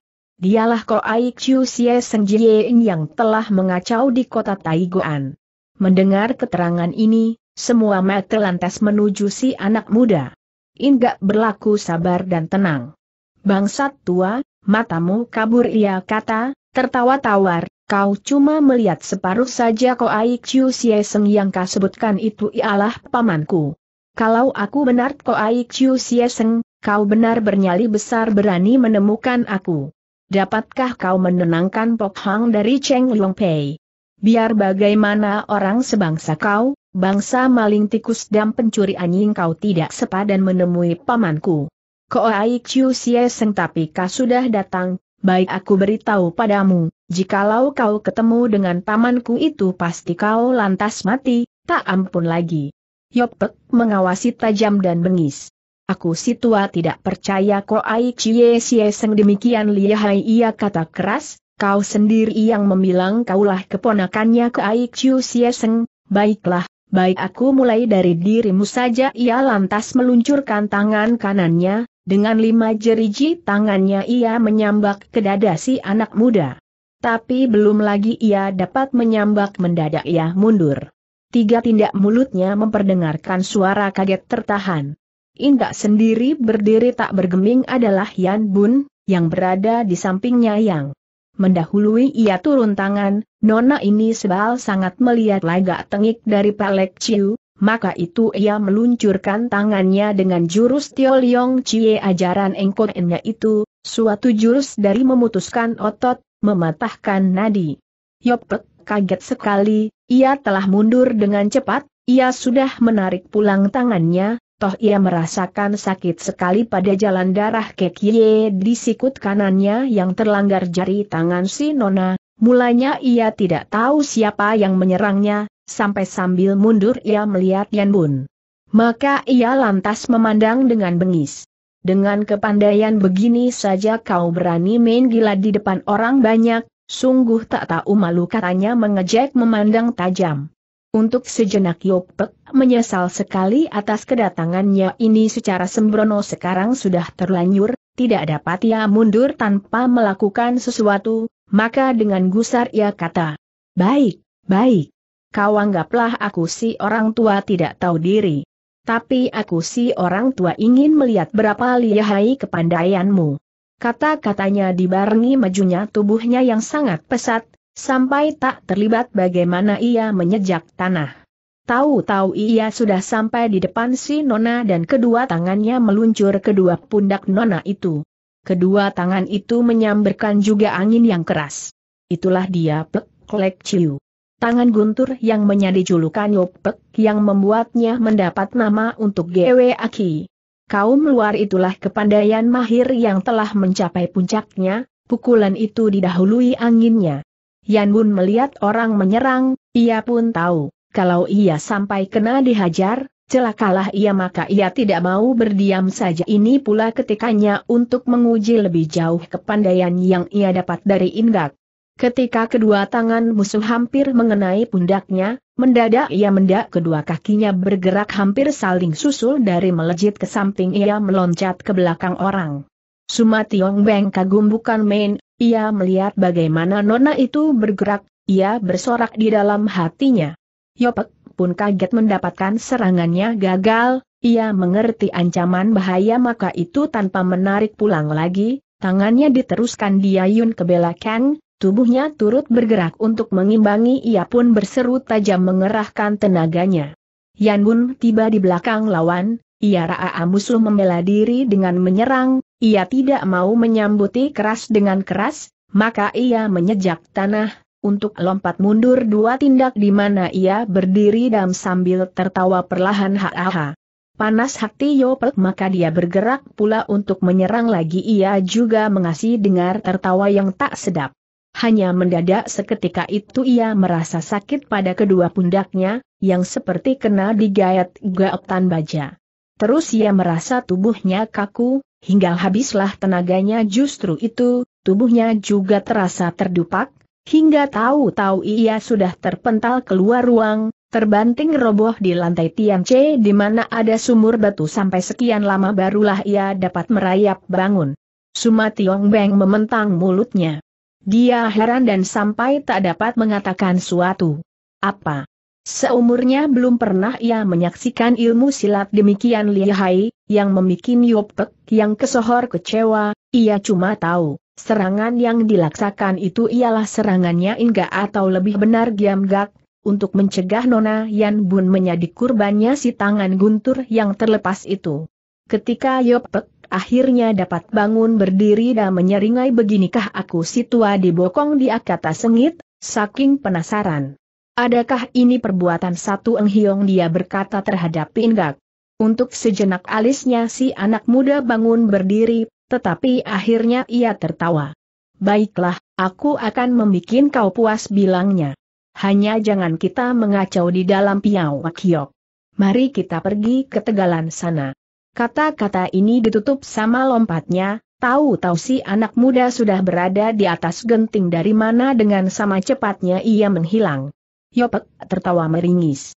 Tahulah ia bahwa ia lagi menghadapi bencana inilah ia tidak sangka sekali, sudah terlanjur ia tidak bisa berlompat naik, guna pergi keluar ia tahu betul, lagi 20 tahun ia berlatih, tak nanti ia mencapai kemahirannya si anak muda. Yang lain-lainnya turut lompat keluar hingga di situ tinggal Yan Bun bersama Beng Kie, nona mantunya Sumationg Beng. Tatkala Yopel tiba di luar, Inggak sudah berdiri di hadapannya ia penasaran, ia lari sekuat-kuatnya untuk menyusul. Maka di lain saat tibalah mereka di kota selatan, di tempat yang bertandakan banyak kuburannya. Di sana si anak muda berdiri menunggu dengan air mukanya berseri-seri sedang di atas mereka, di langit, rembulan sisir menerangi dengan cahayanya serta bintang-bintang berkelak-kelik. Angin meniupkan hawa yang dingin. Yopel, berkata si anak muda, menyambut tibanya orang, kau sekarang bekerja untuk lain orang, aku anggap perbuatanmu sangat tidak cerdik. Tidak peduli aku benar Koai Chiu Seng atau orang yang ada hubungannya dengannya, toh kita berdua tidak ada sangkut pautnya. Maka menurut aku, baiklah kita sudahi saja, kau lantas pulang ke Him Jiesan, di mana tolong kau sampaikan pesanku kepada Huitian Au Chulau Kengtek bahwa sekarang ini dunia rimba persilatan bakal jadi kacau balau, bahwa dia tak dapat mencampurinya, karenanya baiklah dia berdiam di rumah dengan damai dan tenang untuk dia menjaga diri sendiri baik-baik. Tidakkah itu bagus? Hati Yopel bergerak, itulah nasihat benar. Memang benar, memang bukankah benar ya dan Koai Chiu Sieseng tidak ada hubungannya apa-apa? Bukankah benar Koai Chiu Sieseng sangat kesohor lihai dan belum pernah terdengar terkalahkan siapa juga? Bukankah benar juga si anak muda turun tangan secara aneh, hingga ia roboh tanpa merasa? Dia mengaku menjadi keponakannya Koai Chiu Sieseng Mungkio dia benar, pikirnya lebih jauh. Dia begini muda, dia begini lihai juga belum pernah aku menemui pemuda lain selihai dia. Hanya, sejak aku mengangkat nama, siapakah pernah sanggup melayani aku? Cuma ketika pertama kali aku bertemu Witian Au Chu sesudah tiga jam baru aku kena dikalahkan, hingga aku kalah dengan puas. Dia ini lihai baik aku lawan dia dengan kecerdikan, cukup asal aku tidak kena dikalahkan, oleh karena ini, ia bersenyum mewah. Sahabat, tajam lidahmu katanya. Dengan kata saja mana dapat kau membikin aku si orang tua mengangkat kaki. Tak sedemikian mudah sedikitnya aku harus belajar kenal dulu denganmu. Apakah kau telah tahu bahwa aku sebenarnya tak berkuasa sendiri? Inggak menjadi tidak puas. Heran katanya, kau tak berkuasa sendiri, habis siapakah yang berkuasa? Kalau begitu, mengapa kau membabi buta? Pek Lek Chiu tertawa. Sahabat, kau berlagak saja hilangnya pamanmu yang bernama Jien itu tempatnya Peotan, Sian Su telah mencuri kitab POUTE Chin Keng. Itulah kitab yang tak ada orang yang tak menghendakinya. Kau tahu, Sancu kami pernah bersama-sama ketua Hong Tong untuk pergi ke Chiu Au Hang untuk mengambilnya, apa mau mereka telah didahului oleh pamanmu itu? Itulah kitab luar biasa, mana dapat pamanmu membawa sendiri. Maka itulah yang membuat sekarang aku tidak berkuasa lagi. Enggak heran, dari mana keluarnya kabar itu? Apakah Tian Gwe Asem Chuncia masih belum mati ia lantas berpura pilon? Heran dari mana kau tangkap kabar angin demikian itu ia kata tertawa, kalau benar kejadian itu, siapakah yang pernah menyaksikan dengan matanya sendiri? Ketika itu orang-orang Piao Kiok serta orang-orangnya Yopel tiba saling susul, mereka lantas berkumpul. Yopel berseru ketika ia berkata pula, kata-katanya Tian Gwe Asem Ciu Ciatoh bukan kedusaan belaka? Inggak heran tetapi ia mengerti sekarang, rupanya ketiga pendeta murtad itu tidak mati.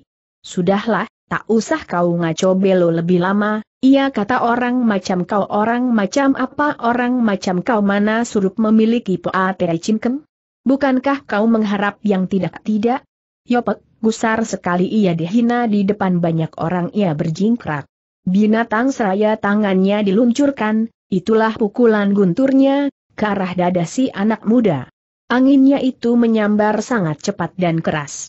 Biarnya begitu, Pek Lek Chiu mengganti tenaganya lima bagian, ia tahu lawan lihai sekali, ia ingin berjaga untuk menarik pulang tangannya apabila ia memerlukan itu, ia hanya heran, selagi ia menyerang itu, lawannya diam saja, menangkis atau mengegos tubuh, untuk menghindarinya.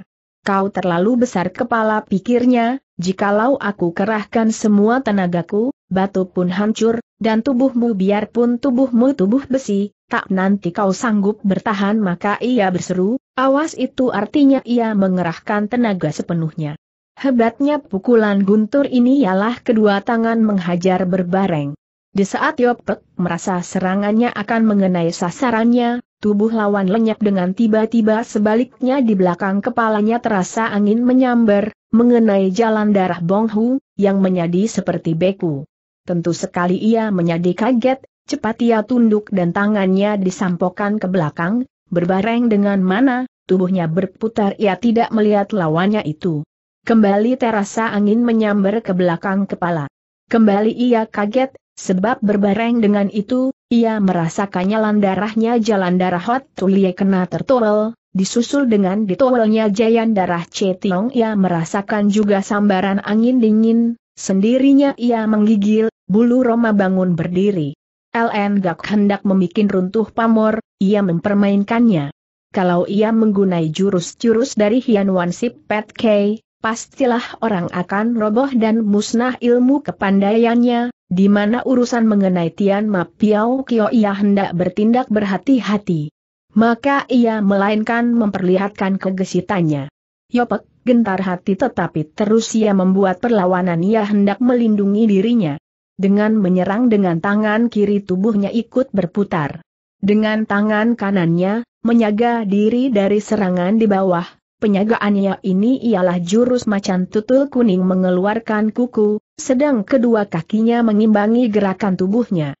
Tiga kali jago Hem Jiesan ini berputar cepat, selama itu tidak pernah ia melihat tubuh si anak muda bagaikan bayangan, anak muda itu berputar juga, tubuhnya terus berada di belakang orang, hingga leluasalah dia mengancam jalan darah Sam Chiao, Sin Kwe E, Sim Jie dan lentai di punggung. Cuma anehnya setiap totokan berupa hanya towelan, kenanya perlahan, melainkan beku sedikit. Teranglah orang berniat mencelakainya. Hebatnya untuknya karena ia terus berputaran, kepalanya menjadi pusing, penglihatannya menjadi berbayang. Akhirnya, dengan hati dingin, ia berhenti berputaran. Melihat orang berhenti, Ien Gak pun berhenti dengan tindakannya Hian Tian Chit Seng Po ia berdiri sembari mengawasi dengan bersenyum. Yopek mengawasi juga, hatinya berdebaran. Pemuda itu tenang-tenang saja, ujung bajunya memain di antara sampokan angin dingin, ia mengawasi tidak lama, lantas ia menangkap kedua tangan ayah memberi hormat. Sahabat, kau benar lihai, katanya. Mendadak ia berhenti setengah jalan, sedang sinar matanya guram. Dia lantas menggapai kepada kawan-kawannya, kedua tangannya dibuka, tubuhnya mencelat ke kiri di mana ada banyak pohon rotan maka sekejap saja, lenyaplah dia, lenyap diikuti kawan-kawannya. Inilah berarti urusan selesai tetapi belum beres kata enggak pada tuan rumahnya, tapi ia berkata sambil tertawa, menyatakan ketabahannya. Dunia rimba persilatan terancam bahaya besar, tapi tak ingin aku peristiwa terjadi lantas maka itu hendak aku mencari pamanku, Jiein, untuk dapat menghilangkan ancaman itu. Aku akan pergi selang tiga hari, Tiong Beng tertawa. Aku kira Lao Tue, tak usahlah kau terlalu repot ya berkata. Aku tahu pamanmu itu lihai maka aku percaya juga ia pasti telah siap sedia menghadapi segala apa. Untukku aku cuma mengharapi penghidupan yang tenang, sekarang sudah malam, angin pun dingin, mari kita pulang ke kantorku. Indak mengangguk. Maka berjalanlah mereka pulang ke Piao Kiok, ketika mereka sampai, terlihat di sana Chow Beng Kie dan Yan Bun tengah menemui seorang tua yang kumisnya putih semua dan bajunya kuning semua. Apakah aku berhadapan dengan Gan Xiao Bia orang tua itu menanya ia berbangkit menyambut begitu lekas melihat masuknya Inggak beramai ia pun lantas merogoh sakunya dan mengeluarkan sepucuk surat, diserahkan kepada anak muda itu. Itulah aku yang rendah, menjawab Inggak manis, Aku mohon tanya Shi dan nama Elo Osian Seng serta bagaimana aku harus memanggilnya ia menyambuti surat itu seraya menatap si orang tua, yang alisnya panjang sampai di pipi, mulutnya lebar, giginya rata, sedang matanya tajam dan berpengaruh. Dia bertubuh jangkung dan tegar. Kedua tangannya yang putih, memelihara kuku-kuku panjang dua dimsi orang tua mau menyawab tetapi Yan Bun mendahului memperkenalkannya, Lo Chiam Poe ini ialah Yan Intai Hiap Tiat Chie Sin Wan Pek Minus 0000000. Suma Tiong Beng juga tidak kenali si orang tua, mendengar disebutnya nama itu, ia terperanyat dan kata.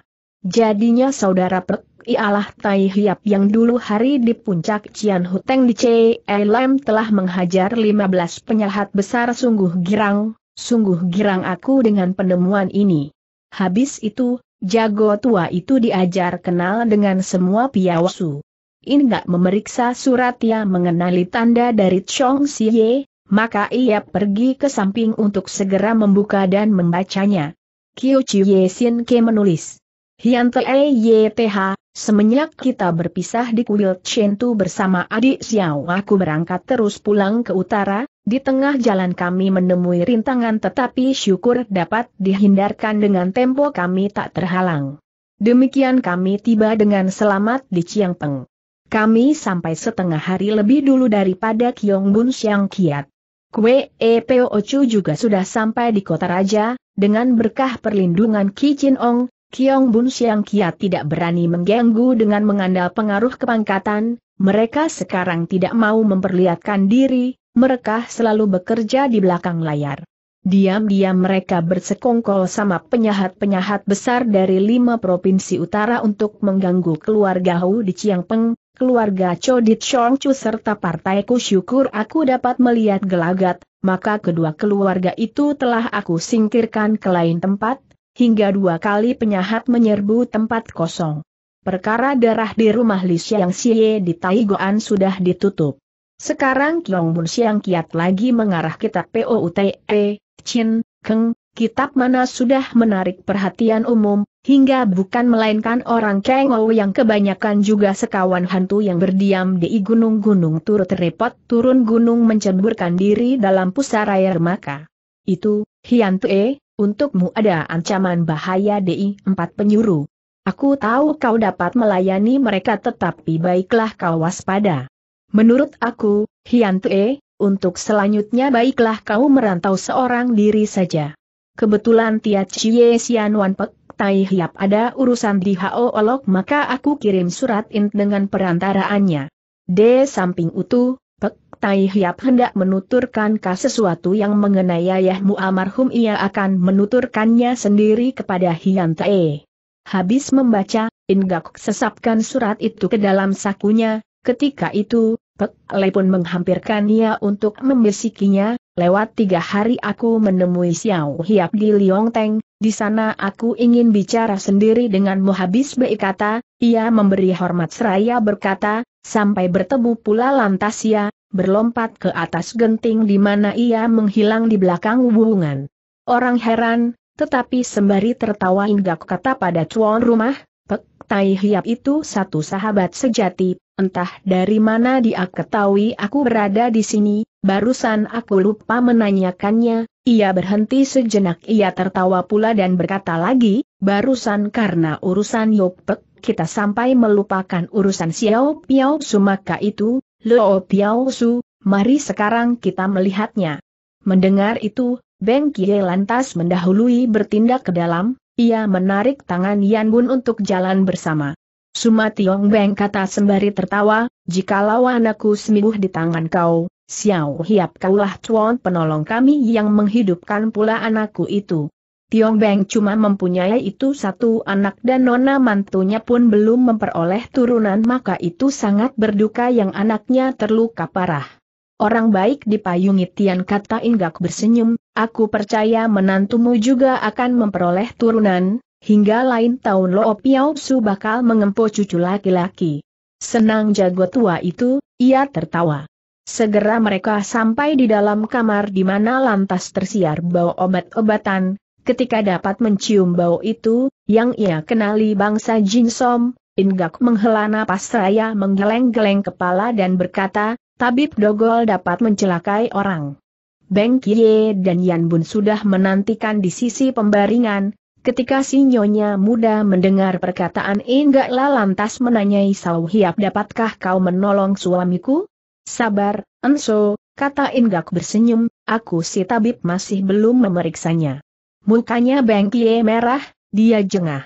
Yan Bun berkata kepada si anak muda, habis apa perlunya kau ngoceh tidak keruan suami orang sakit, Bagaimana dia tidak berduka dan berkhawatir?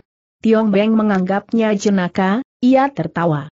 Inggak bertindak ke depan pembaringan ia menyingkap kelambu, maka ia melihat si Piao Sumuda rebah dengan kepala madap keluar, mukanya perok dan pucat, rambutnya kusut. Mengetahui ada orang datang, dengan susah ia membuka matanya dan mengangguk lantas ia merampula, benar-benar ia telah sakit parah, sudah lama dan tak dapat obat yang tepat. Beng Kie lantas mengucurkan air mata. Inggak duduk di samping pembaringan ia menarik tangannya si Piao Sumuda, guna meraba nadinya. Tiong Beng berdiri di samping Inggak lah berbisik, ketika anakku ini dilahirkan, tukang tenung bilang ia tidak bakal berumur panjang maka itu ia diberi nama Tiang Siu. Orang tua ini nampak sangat bersusah hati. Segala tukang tenung tak dapat sembarang dipercayai kata Inggak tertawa. Manusia bergantung kepada dirinya sendiri, kepada Tian siapa yang hatinya baik, dia tentu diberkahi siapa dapat memastikan orang baru dilahirkan lantas usianya pendek. Adalah benar orang dapat menutup mata karena usia lanjut dan sakit, tetapi sesuatu manusia ada takdirnya, jadi kita cuma dapat berkata dari hal untung baik dan untung malang.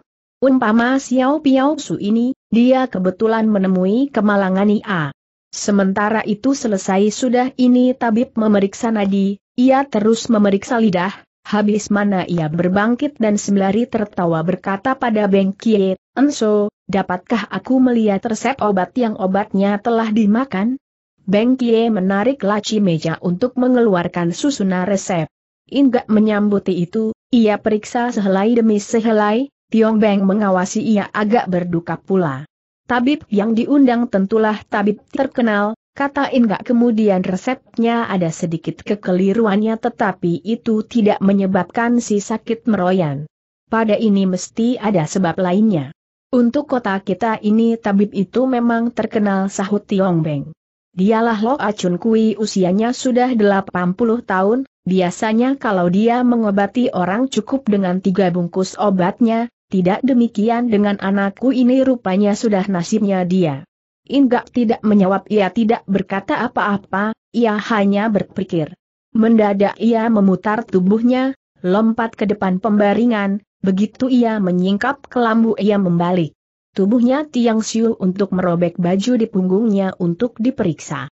Tiba-tiba ia mengeluarkan seruan kaget. Tiong Beng dan Beng Kie kaget, mereka pun lompat ke pembaringan untuk melihat. Keduanya terkejut bukan main. Di punggung si sakit ada tapak dari lima jari tangan. Inggak menghela napas, ia berkata, ini tanda dari tangan jahat Xiao Piao Su sendiri pasti tidak mengetahuinya. Tabib Lokat tidak tahu pokok sebab penyakit, ia mengobati dengan segala kuikia dan moabong, baiknya ada campurannya juga obat yang menguatkan tubuh syukur aku tidak terlambat kalau tidak entah apakah jadinya. Hati Tiong Beng menjadi lega. Xiao Hiap benar, ia bilang, Xiao Hiap gurumu pastilah seorang pandai yang luar biasa, dia mengajarkan kau ilmu silat dan juga ilmu tabib. Indah bersenyum. Tetapi penyakit itu memang berlainan ia kata, ia tidak menjawab langsung bahkan ia lantas mengeluarkan kotak kecilnya di mana ada 12 batang jarum emas halus panjang 4 dim, dengan itu ia terus menusuk 12 jalan darahnya Tiang Siu, si Piao Sumuda. Setelah itu ia minta Tiong Beng menyuruh orangnya lekas membeli tin dia simpanan tujuh tahun serta jahe tua, makin banyak makin baik, Beng Kie lari keluar, guna menyuruh orangnya membeli obat-obatan itu. Kira-kira seminuman teh, Tiang Siu terdengar merintih. Tidak lama pegawai yang diperintah membeli lin hiadanya sudah pulang. Mari kita bekerja, kata Inggak ia minta Beng Kie dan Tiong Beng memegangi dan mencekal tubuh Tiang Siu, katanya supaya jangan dikasih bergerak, kemudian ia meletaki tiga lembar jahe di tempat yang luka, lalu di atas itu ia menaruh tinhia dan membakarnya, terus hingga tiga kali tukar. Tiang Siu kesaktan, dia berkaok-kaok dia meronta-ronta, matanya pun mendelik Seng ayah dan istri terus memegang dan menekan, dia tak dapat berkutik. Inggak membakar pula tinhia, terus sampai sembilan kali tukar, ketika tenaga dan suara si Piao Sumuda habis, baru ia berkata, sekarang luka di dalamnya sudah sembuh bahaya tidak ada lagi. Beng Kia dan Tiong Beng melepaskan tangan mereka. Inggak mencabut dua belas jarumnya, terus ia angkat tubuh si sakit buat dikasih berduduk untuk ia menepuk punggungnya satu kali.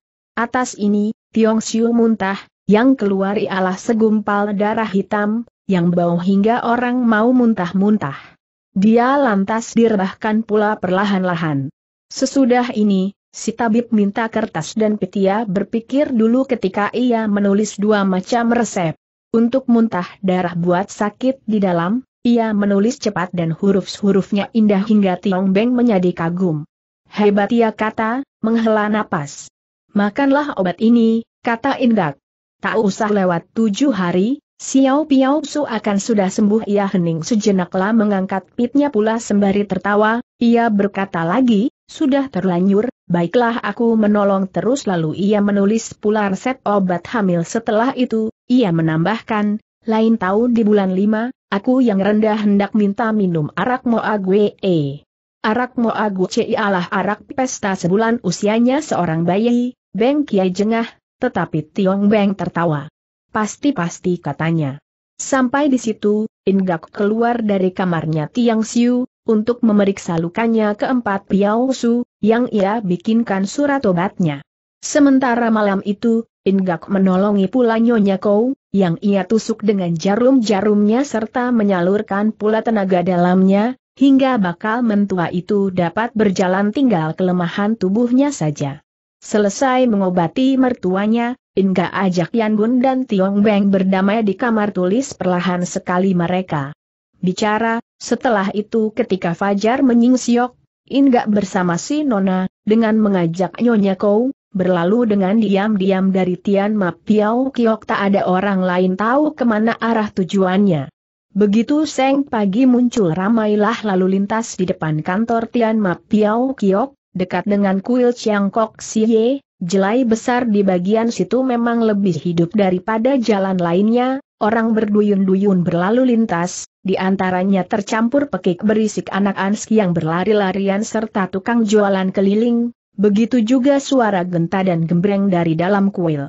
Pagi itu langit terang, angin sejuk. Biar bagaimana, masih ada suasana tahun baru. Di muka bendera dengan sulaman atau lukisan empat ekor kuda jempolan berkibar-kibar dengan megahnya nampaknya menyolok mata. Justru itu maka orang mendengar suara berisik dari kaki-kaki kuda yang berketoprakan di batu hijau yang ditabur di jalan besar, mendengar mana orang repot pula menyingkir ke tepi jalanan. Long Kun lagi berdiri di depan Piao Kiok sambil ia menggandeng tangan di punggungnya ketika perhatiannya ketarik suara berketoprakan itu, hingga ia lantas menoleh.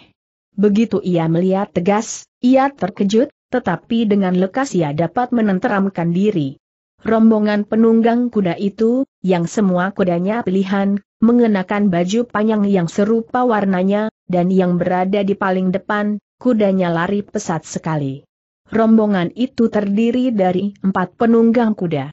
Tiba di bawah bendera, mereka pada berhenti dan berlompat turun dari kudanya masing-masing.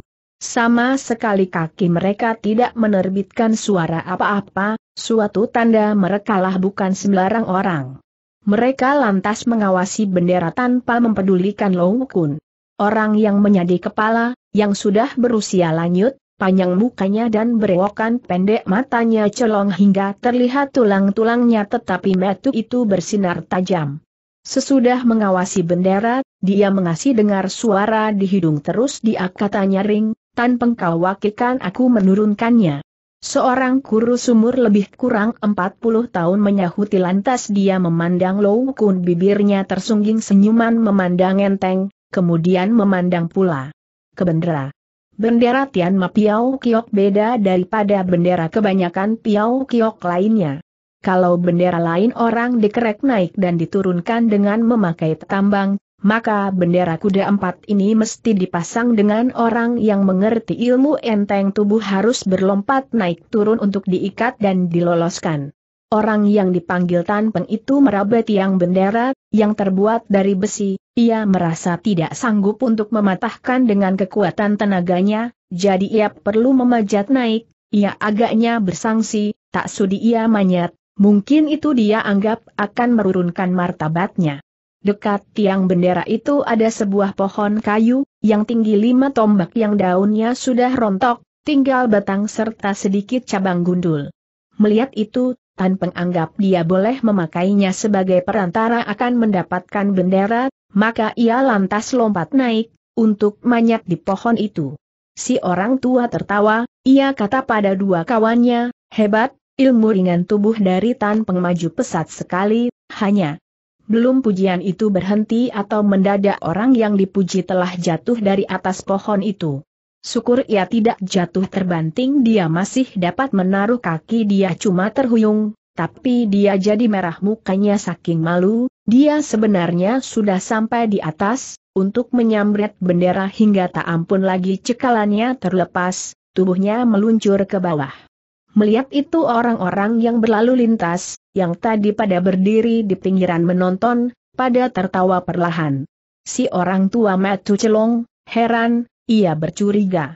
Percaya cabang itu mesti ada yang bikin patah, tidak nanti cabang patah secara kebetulan sebaliknya cabang itu cukup tinggi dan tangguh siapa dapat mematahkannya? Dengan care apa? Ia sendiri tidak mempunyai tenaga dalam demikian mahir hingga dapat mengenai pukulan udara kosong selihai itu. Maka ia lantas melihat kelilingan. Terpisah kira tiga tombak dari si Matu Celong itu terlihat seorang tua bertubuh katai ditemani dua orang muda, orang tua itu bermata kecil dan hitam kulitnya. Mereka menggondol pedang di punggungnya masing-masing. Ada lagi seorang nona yang cantik, yang dilihat dari romannya, mesti nona yang nakal, ia juga membawa pedang di punggungnya, mereka berempat bersenyum seperti bukan bersenyum. Segera si Metu Celong menerkasi orang tua kata itu tetapi di saat ia hendak menegur atas mendamprat mendadak ia mendengar si orang tua kata tertawa dan berkata kepada si Nona. Katanya, bocah kau telah melihat tegas atau tidak itulah mesti perbuatannya seorang lihai yang menggunai sentilan peluru merontokkan cabang itu dia demikian hebat maka aku si orang tua, terbukalah matuku. Kata-kata itu membuat Tan Pemberempat malu sekali, muka mereka menjadi merah padam sendirinya. Justru itu Lau Kun di depan pintu kantornya berkata dengan dingin, HMM hektometer di tempat di mana orang tidak dapat main-main kenapa mesti mempertunjukkan keburukan sendiri di depan Piao Kiok kami?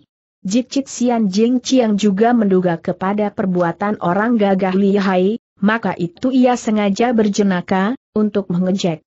Mendadak Tan Peng menjadi gusar, dia berlompat ke arah pintu Piao Kiok, untuk menerjang Long Kun, Selagi ia bertempat itu di belakangnya ada lain orang berlompat juga menyerang punggungnya. Dia kaget, mendadak dia merasa sangat sakit. Dia lantas lompat ke samping untuk berkelit. Brad terdengar suara maka baju di punggung Tan pengerobek pundak kirinya luka berdarah dia lompat ke tangga kanan. Long Kun sudah bersiap untuk menangkis serangan tatkala ia melihat ada orang membantu padanya ia lantas membatalkan persiapannya, ia berdiri diam sembari tertawa mengangguk. Tan penggusar hingga wajahnya merah padam, belum pernah ia dirobohkan secara begini, ia berpaling bengis kepada orang yang membokongnya itu. Untuk herannya ia mendapatkan seorang nona yang matanya jeli, yang tangannya mencekal pedang panjang. Nona itu berdiri bersenyum sejauh empat kaki lebih daripadanya. Nona itu bukan lain daripada Nona Lan dari Kim Hoa yang sangat berandalan, nakal dan doyan guyon. Dia mendengar hal perbuatan Koai Chiu Sie Seng si pelajar aneh di kota Taigoan dia lantas menduga kepada Ingak. Kebetulan sekali dia bertemu dengan Aye Hang Sok Heng Hang yang ada bersama-sama Tong Hong Giok Kun dan Kiang Yao Chong lantas mereka mempersatukan diri selagi. Bersantap dan menyebut-nyebut perbuatan Ko Ai Chiu Sie Seng dan mengutarakan dugaannya kepada Ingak, Aye Hang Sok menjadi ketarik hati. Tidak salah, benarlah dia katanya seraya menepuk meja, Pasti bocah itu diang kecip dia mendusai aku hingga aku jadi bersengsara sangat. Coba pikir kenapa sih nomor empat dari Liong Bun tak keruan-keruan roboh kehabisan tenaga. Benar bocah itu, aku mesti cari dia. Maka berempat mereka pergilah ke Lok yang untuk mencari, di sini mereka mendengar hal pembakaran In Busan Chung hingga Jim Chit Kou terbinasa. Mereka pergi ke tempatnya Liong Bun Go Koai dan menyaksikan sendiri keruntuhannya San Shun yang kesohor itu, yang sekarang telah menjadi kosong sebab keempat siluman dari Liong Bun sudah pindah ke lain tempat semua orangnya telah mereka bubarkan. Marilah kita pergi ke Tian Ma Piao Kiok di Kai Hang Aye Hang Sok mengajukan sorannya. Mereka berangkat ke Kai Hong untuk lantas menghadapi peristiwa itu. Si orang tua berewokan kaku seperti duri badak itu bersama dua kawannya, melihat robohnya Tan Peng itu lantas bertempat ke hadapan Nonalan. Mereka mengasih dengar suara mengejek.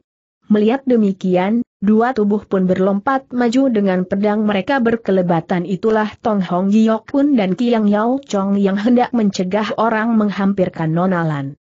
Orang tua bermata colong itu berseru, tangannya mengibas, maka berkibarlah tangan bajunya yang panjang. Pedangnya Giokun dan Yao Chong kena tersampok tubuh mereka pun mental lima kaki. Mereka menjadi terkejut. Aye Hang Sok tertawa lebar. Casyu Kengkeng yang mahiria memuji aku tidak sangka Hui Tian Au Chu kembali keluar dari Hem Jie San sungguh beruntung aku dengan pertemuan ini. Memang juga si orang tua Matu Celong dan berewokan kaku itu ialah Huitian Au Culau Tek si Elang menerbangkan langit, yang lihai ilmu mengebutnya itu, yaitu Tiat Siu Kengkeng atau tangan baju besi. Kau siapa Kengtek membentak matanya menyala. Aye Hang Sok tertawa pula, tertawa mengejek kau tidak kenal aku aku kenal kau katanya jenaka, mencemoohkan. Aku si tua bangka tidak mau mampus ini ialah kakak angkatnya musuh mati hidup dari kamu, Tuye Hun Toan Ciabun. Akulah Aye Hang Sok Heng Hang ia berhenti untuk tertawa, lantas ia menambahkan. Adik angkatku itu kabarnya mau menyenguk kau di Hem Jiesan, kau sebaliknya, buat apa kau nongkrong saja di sini ingatlah, jangan kau mengasih lewat ketika yang baik untuk bertemu pula dengan sahabatmu itu. Lo Heng Tek terperanyat. Ketika dulu hari itu ia dapat menyerang Ciabun satu kali, ia tidak puas. Hasilnya itu bukan hasil yang gilang gemilang. Ia bahkan jengah karenanya sampai sekarang, kalau ia ingat itu hatinya tidak enak sekarang ia mendengar Ciabun masih hidup dan bakal menemuinya, ia tercengang. Memang ia tahu Ciabun lihai dan sekian lama ia sangsikan kematiannya, tahun yang sudah ia mendengar Ciabun muncul pula, Selalu ia bersedia-sedia untuk membela dirinya, ia takut Ciabun nanti menyaturoni Hem Jiesan, sarangnya itu, ia tidak sangka sekarang ia mendengar perkataannya Heng Hang ini. Tapi ialah satu jago, kemudian ia tertawa dan kata dengan nyaring terhadap sahabat yang berkunjung, pihak Him Jiesan selalu akan menyambut dengan baik. Baiklah aku akan berdiam di tengah gunung menyambutnya sahabat Heng jikalau kau tidak berbuat celaan silahkan kau pun datang bersama. Heng Hang tertawa pula, ia terus menggoda. Aku si tua bangka tidak mau mampus tidak mempunyai kegembiraan akan menyemukmu di gunungmu sahutnya, adalah adik angkatku itu pun sudah cukup untuk membuat kau sakit kepala. Kengtek tertawa dingin, ia tidak menggubris godaan itu ia terus memandang kepada Long Kun. Jit Goat Sian Jinteng memang terus mengawasi Keng Tek buat menonton lagak-laguknya, sekarang ia dipandang, ia tertawa dingin dan kata, Lolo Otongki, kenapa perkara kecil kau besar-besarkan? Bendera Piao Kiok kami itu tidak berharga seberapa tetapi untuk kau merurunkannya itulah tak mudah jikalau kau mau tahu halnya si pemuda yang kemarin mengajar adat kepada si orang Soyo, dapat aku terangkan, tadi pagi ia telah berangkat ke utara ia telah memesan andai kata Elo Tongke berani, silahkan Lo Tongke menyusul ke kota raja. Memangnya Lawe Kengtek datang buat mencari inggak kecelakaannya Tanpeng dan gangguannya rombongannya Heng Hang membuatnya mendongkol dan pusing, ia pun tengah bersangsi. Robohnya Tanpeng meski perbuatan orang-orang lihai yang belum dapat dipastikan siapa adanya. Maka kebetulan sekali keterangan Yalou Kun ini ia dapat ketika untuk mengegos, ia lantas tertawa dan kata, kawanan bocah itu dapat melihat gelagat mereka mendahului menyingkir tapi lihatlah bagaimana dia dapat lolos dari tanganku. Lou Kun tertawa di dalam hati mendengar seorang berkenamaan mengucapkan demikian rupa, ia tidak mau melayaninya, ia berdiam saja. Lokeng Tek cerdik, ia dapat mengenai baik-baik setiap ketikanya, ia mencari Inggak bukan tanpa kesangsian, keterangannya Yopek yang pulang dengan kegagalan, membuatnya berpikir banyak. Jadinya telah muncul anak-anak muda yang lihai.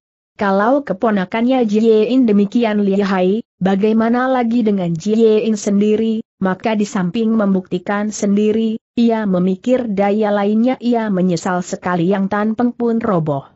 Habis mendengar keterangannya Long Kun itu, ia melirik kepada Tong Hong Giok Kun, Kiang Yao Chong dan Nonalan, ia kata di dalam hatinya, aneh anak-anak ini, mereka mempunyai pedang-pedang yang bagus. Aku sendiri, aku mencarinya sia-sia buat banyak tahun. Baiklah aku gunai Tiai Shua Cheng Kang terhadap mereka, biar ilmu ringan tubuh mereka mahir, mustahil mereka lolos dari aku, selagi mereka berkelit, akan aku rampas salah satu pedangnya. Setelah berpikir itu, ia kata keras, mari kita pergi baiklah sahutan pengbertiga. Ketiganya lantas lompat. Naik atas kuda mereka. Lokeng Tek memutar tubuhnya, berbareng dengan itu tangan kanannya mengibas, tangan. Bajunya yang panjang berkibar. Mendadak nonalan bertiga merasa sambaran angin, tak sempat mereka berdaya mempertahankan diri, tubuh mereka terhuyung. Akan tetapi Kiang Yao Chong tidak menjadi mati daya, maka ia terus berlompat untuk menyerang ke pundak kiri Kengtek ia menggunai jurus naga memain di tengah langit. Heng Hang terperanyat itulah kejadian di luar sangkaannya. Kengtek sebaliknya mewujudkan rencananya.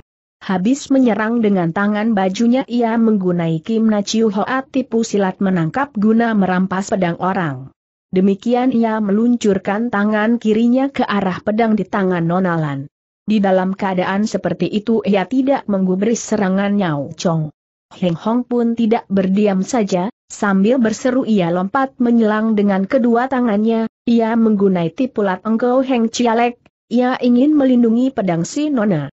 Lokeng Tek sangat lihai mendahului segala apa, jeriji tengahnya telah berhasil menotok jalan darah Keng Liang dari Nonalan, tanpa berdaya pedang si Nona terlepas dari tangannya, maka di lain saat pedang itu, Ciu Sengkiam dipungut si burung elang yang tubuhnya membungkuk cepat bagaikan kilat. Hanya baru saja pedang tercekal, lantas terlepas pula jatuh kembali di tangga batu, keras hingga munkrat lelatunya, inilah disebabkan di saat itu, Kengtek merasai punggungnya sakit dan ngilu.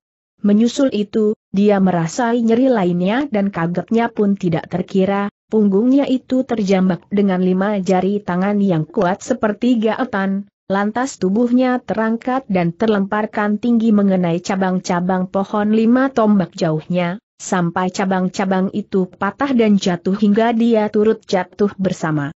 Debu munkrat dan mengepul karena kejatuhan itu. Aye Kong Sok melihat sebuah tubuh mencelat lantas lenyap ia lihai tetapi ia tidak ketahui, orang datangnya dari mana dan ke mana lenyapnya lebih jauh, sebab dia menghilang di belakang banyak orang, yang sementara itu pada mengawasi peristiwa itu. Hui Tian Au Chu berlompat bangun, sambil tunduk ia berlompat naik ke atas kudanya, ia terus kaburkan di belakangnya, tiga kawannya lantas menyusul. Ketiga kawan ini juga bungkam seperti ianya, mereka cuma memperlihatkan sorot mata heran dan bingung. Aye Hang Sok berempat tidak jadi pergi ke Tian Ma Piao Kiok, mereka lelah mendengar halnya si anak muda sudah pergi ke utara, mereka cuma memandang ke pintu Piao Kiok di mana nampak Long Kun lagi berdiri di sana. Adalah si Nonalan, yang menanya, numpang tanya, apakah di dalam Piao Kiok Chuan ada seorang muda sucia? Dia baru datang dari Lok Yang. Long Kun menggoyang kepala sembari tertawa ia menjawab, sebenarnya Nona, di kantor kami tidak ada orang sucia, hanya ada juga seorang Shigiam yang datang bersama istri dan mertua perempuannya datangnya dari Lokyang, tetapi tadi pagi-pagi mereka sudah berangkat ke kota raja. Nona Lan menjadi Mas Gulia kecele. Heng Hang menduga kepada Inggak, tetapi orang ditemani istri dan mertuanya, ia lantas membungkam, air mukanya suram.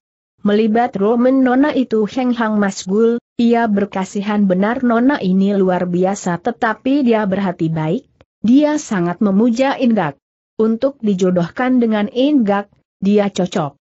Terima kasih ia berkata kepada Lou Kun, sedang kepada si nona ia membilang, Nona, mari kita jalan-jalan dulu di Siang Kok Siye, dari sana baru kita menetapkan pula kita pergi ke mana lebih jauh. Nona Lan menurut, maka pergilah mereka mereka bercampuran di antara banyak orang. Kuil Siang Kok yang berdiri tak jauh dari kantor Tian Ma Piao Kiok, dibangun di tahun Tiao Pok 6 dari zaman dinasti Selatan dan Utara, mulanya bernama Kian Kok Xie lalu diubah menjadi Siang Kok Xie pada tahan Kengnen kedua Ahala. Pong, tetapi selanjutnya di zaman Goan Beng dan Cheng terus dirawat baik. Pintu tengahnya biasa ditutup, untuk masuk dan keluar, dipakai kedua pintu samping barat dan timur, dari pintu tengah menuju ke utara, ada dua pendoponya ialah pendopo utama dan pendopo pakak Tian yang kesohor, habis itu ialah Lau Teng Chong Keng Lau Peranti menyimpan kitab-kitab. Setiap hari raya bukan main ramainya kuil ini menerima kunjungan orang-orang yang bersujud, maka itu di bagian luar, ramah juga orang yang menyual cerita bernyanyi main sulap tukang tenung, tukang silat dan pedagang-pedagang, keramaian itu hingga ada yang membandingi dengan keramaian agama di kuil di Pak Hia atau keleteng Hong Hucu di Kimleng. Ketika Aye Hang Sok bersama ketiga kawannya memasuki pekarangan Siang Kok Siye, mereka mengambil pintu timur. Mereka melihat orang semua bergembira, mereka sendiri pun ketarik hati kecuali Nonalan yang masgul. Dari dalam tak hentinya terdengar suara pendeta-pendeta membaca mantra diiringi tetabuan suci. Di tempat di mana ada seorang penyual cerita lagi bercerita, Aye Hang Sok berhenti mendengari. Tong Hong Giok pun melihat kelilingan, tiba-tiba ia terkejut ia menampak dua orang yang datang bersama ia lantas mengikuti Kiang Yao Chong dan memberi isyarat dengan matanya. Setelah melihat dua orang itu, Yao Chong juga terperanyat. Dua orang itu yang bertubuh jangkung, yang lagi berjalan dengan perlahan, ialah Chio Tiong Siang Koai, sepasang siluman dari Chin Tiong. Mereka mengenakan pakaian mewah yang bersorot mentereng di sisinya matahari. Untuk mereka dandanan itu tak surup sekali, karena itulah sangat menyolok mata. Toa Koai siluman pertama Tong Siangkan dan Jie Kai siluman kedua, Pasan Tiao dikenal sebagai hantu atau iblis. Yang dimalui dari mereka yaitu ilmu pedang mereka, yang diberi nama Hui Hang Kiam Hoat, burung hang terbang. Mereka lah musuhnya Giokun dan Yao Chong berdua, disebabkan mereka ini telah melukai murid kedua siluman itu, ketika kedua pihak benirok di Pookwi. Ketika itu Giokun dan Yao Chong baru mulai mengembara. Mereka disusul Siang Koai, bertempur belum ada sepuluh jurus mereka telah kena dikalahkan, Syukur ada orang yang menolongi jikalau tidak pastilah mereda binasa, sekarang kedua pihak bertemu pula dan Siang Koai melihat kedua anak muda itu, tidak heran Giok Kun berdua terkejut. Dengan tindakan Jumawa Siang Koai mendekati kedua anak muda, lalu Toa Koai berkata mengejek, bocah-bocah, di sini kita bertemu pula sungguh kita berjodoh. Kunlun Moleki yang Yao Chong menunjuki keberaniannya, tidak salah sahutnya gagah, kita telah bertemu pula kau mau apa? Tong yang tertawa bergelak. Aku tidak mau apa-apa sahutnya. Asal kamu masing-masing menguntungkan sebelah tanganmu lantas kami pergi. Segera mereka menarik perhatian orang, banyak mata lantas mengawasi mereka. Nona Lan menjadi gusar. Kamu orang apa ia menegur sungguh jumawa kata-kata itu ditutup dengan tinju ke dada siluman yang pertama. Nona ini lagi masgul dan uring-uringan maka itu ia menjadi sembrono. Coba ia tahu dua orang itu dua jago dari Cintiong. Sianmo, tidak nanti ia berkata sembarangan tentulah ia menanti dulu tindakannya dua kawannya itu.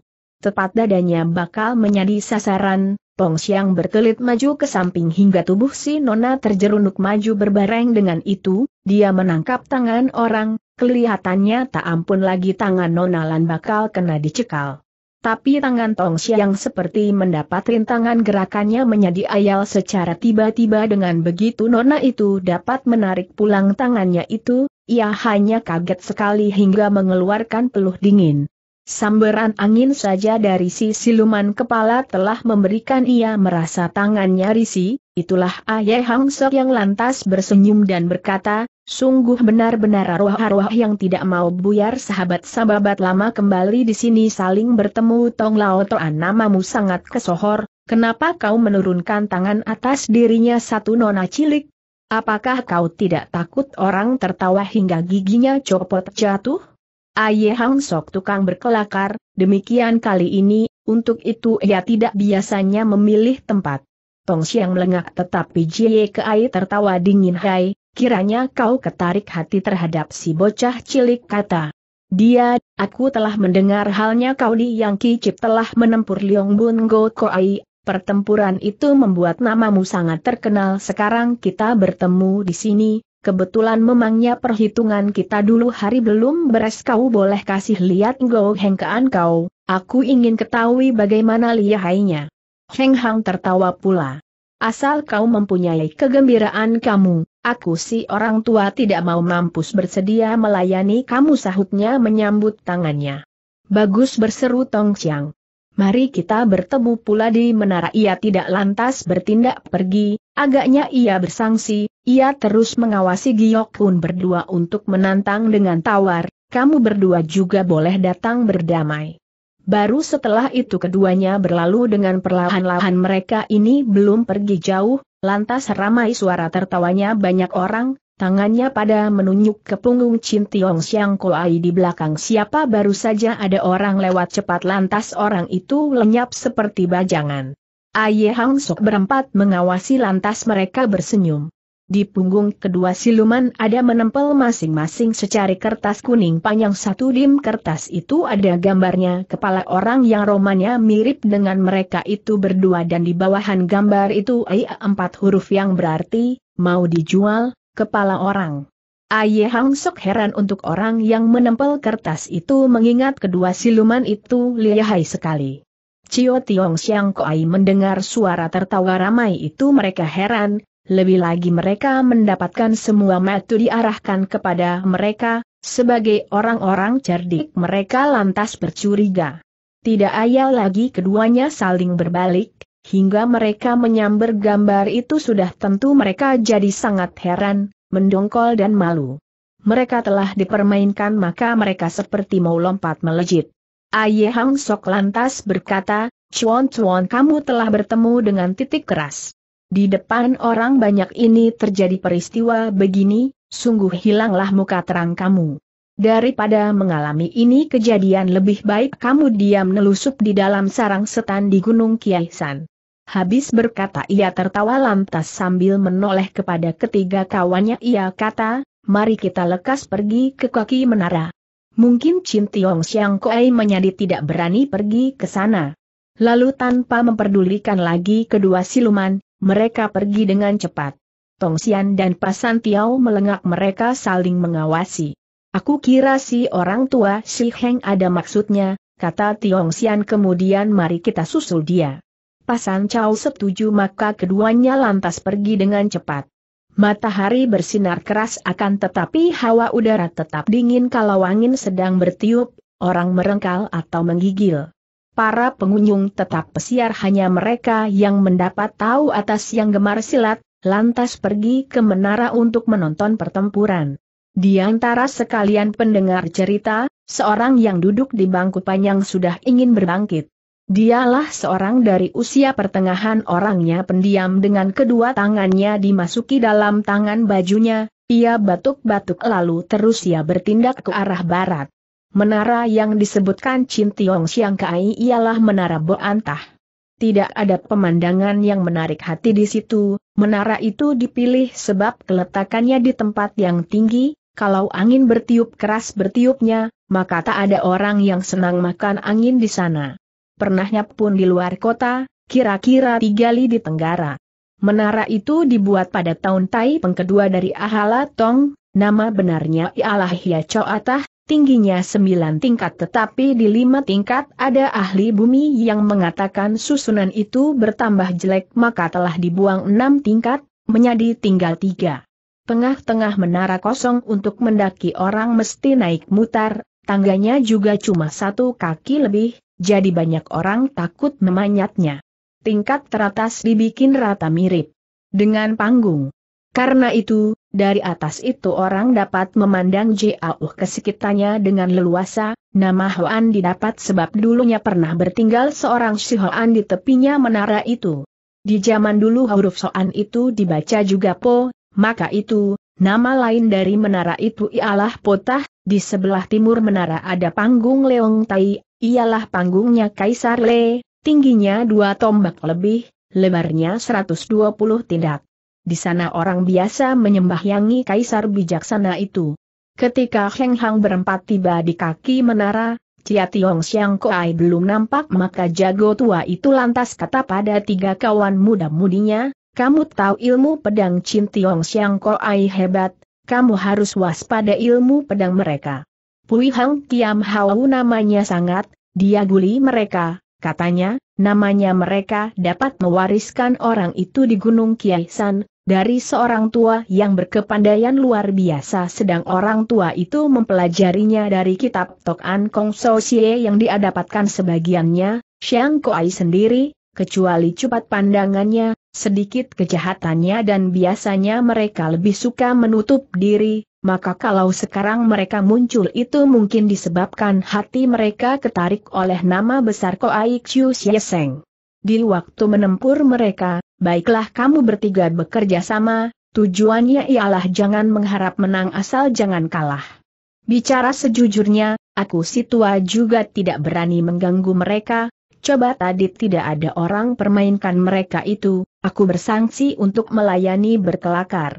Nona Lan yang rambutnya ditiup kusut seng angin, membuka matanya.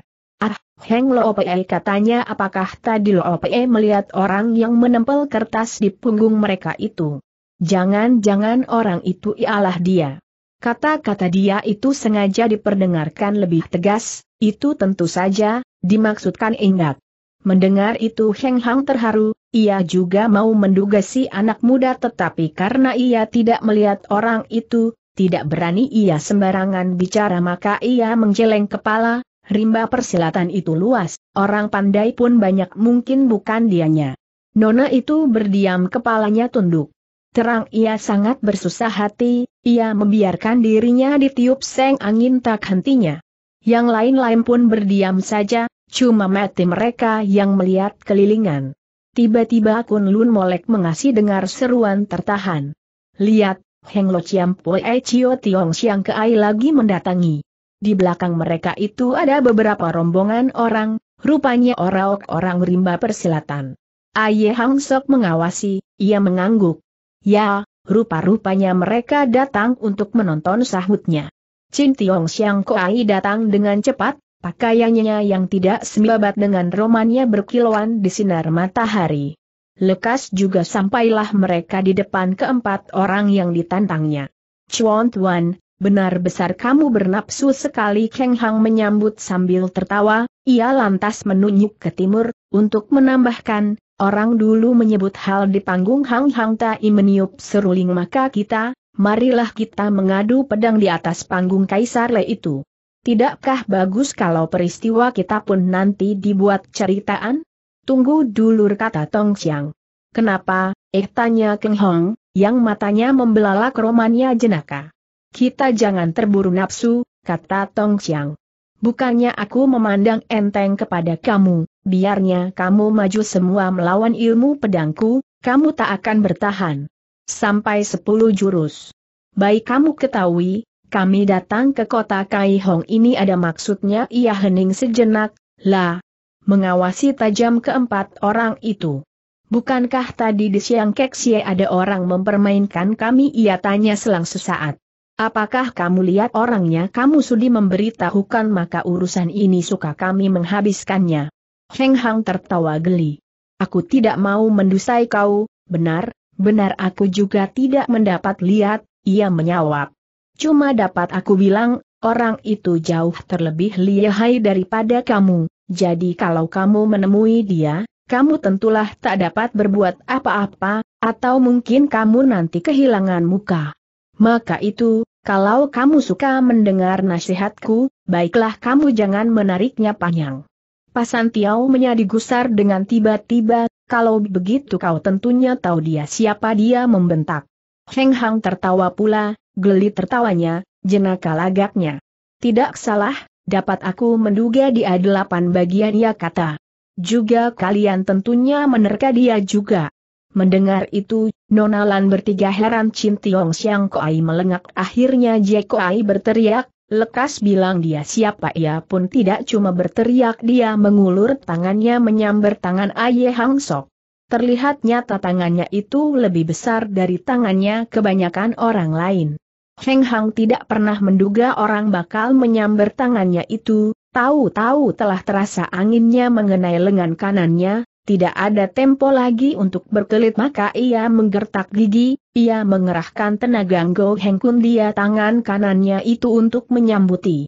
Tanpa dapat dicegah lagi, kedua tangan bentrok satu dengan lain, Pasan Tiao merasa ia seperti memegang besi atau batu, maka lekas-lekas ia mengerahkan tenaganya lebih jauh.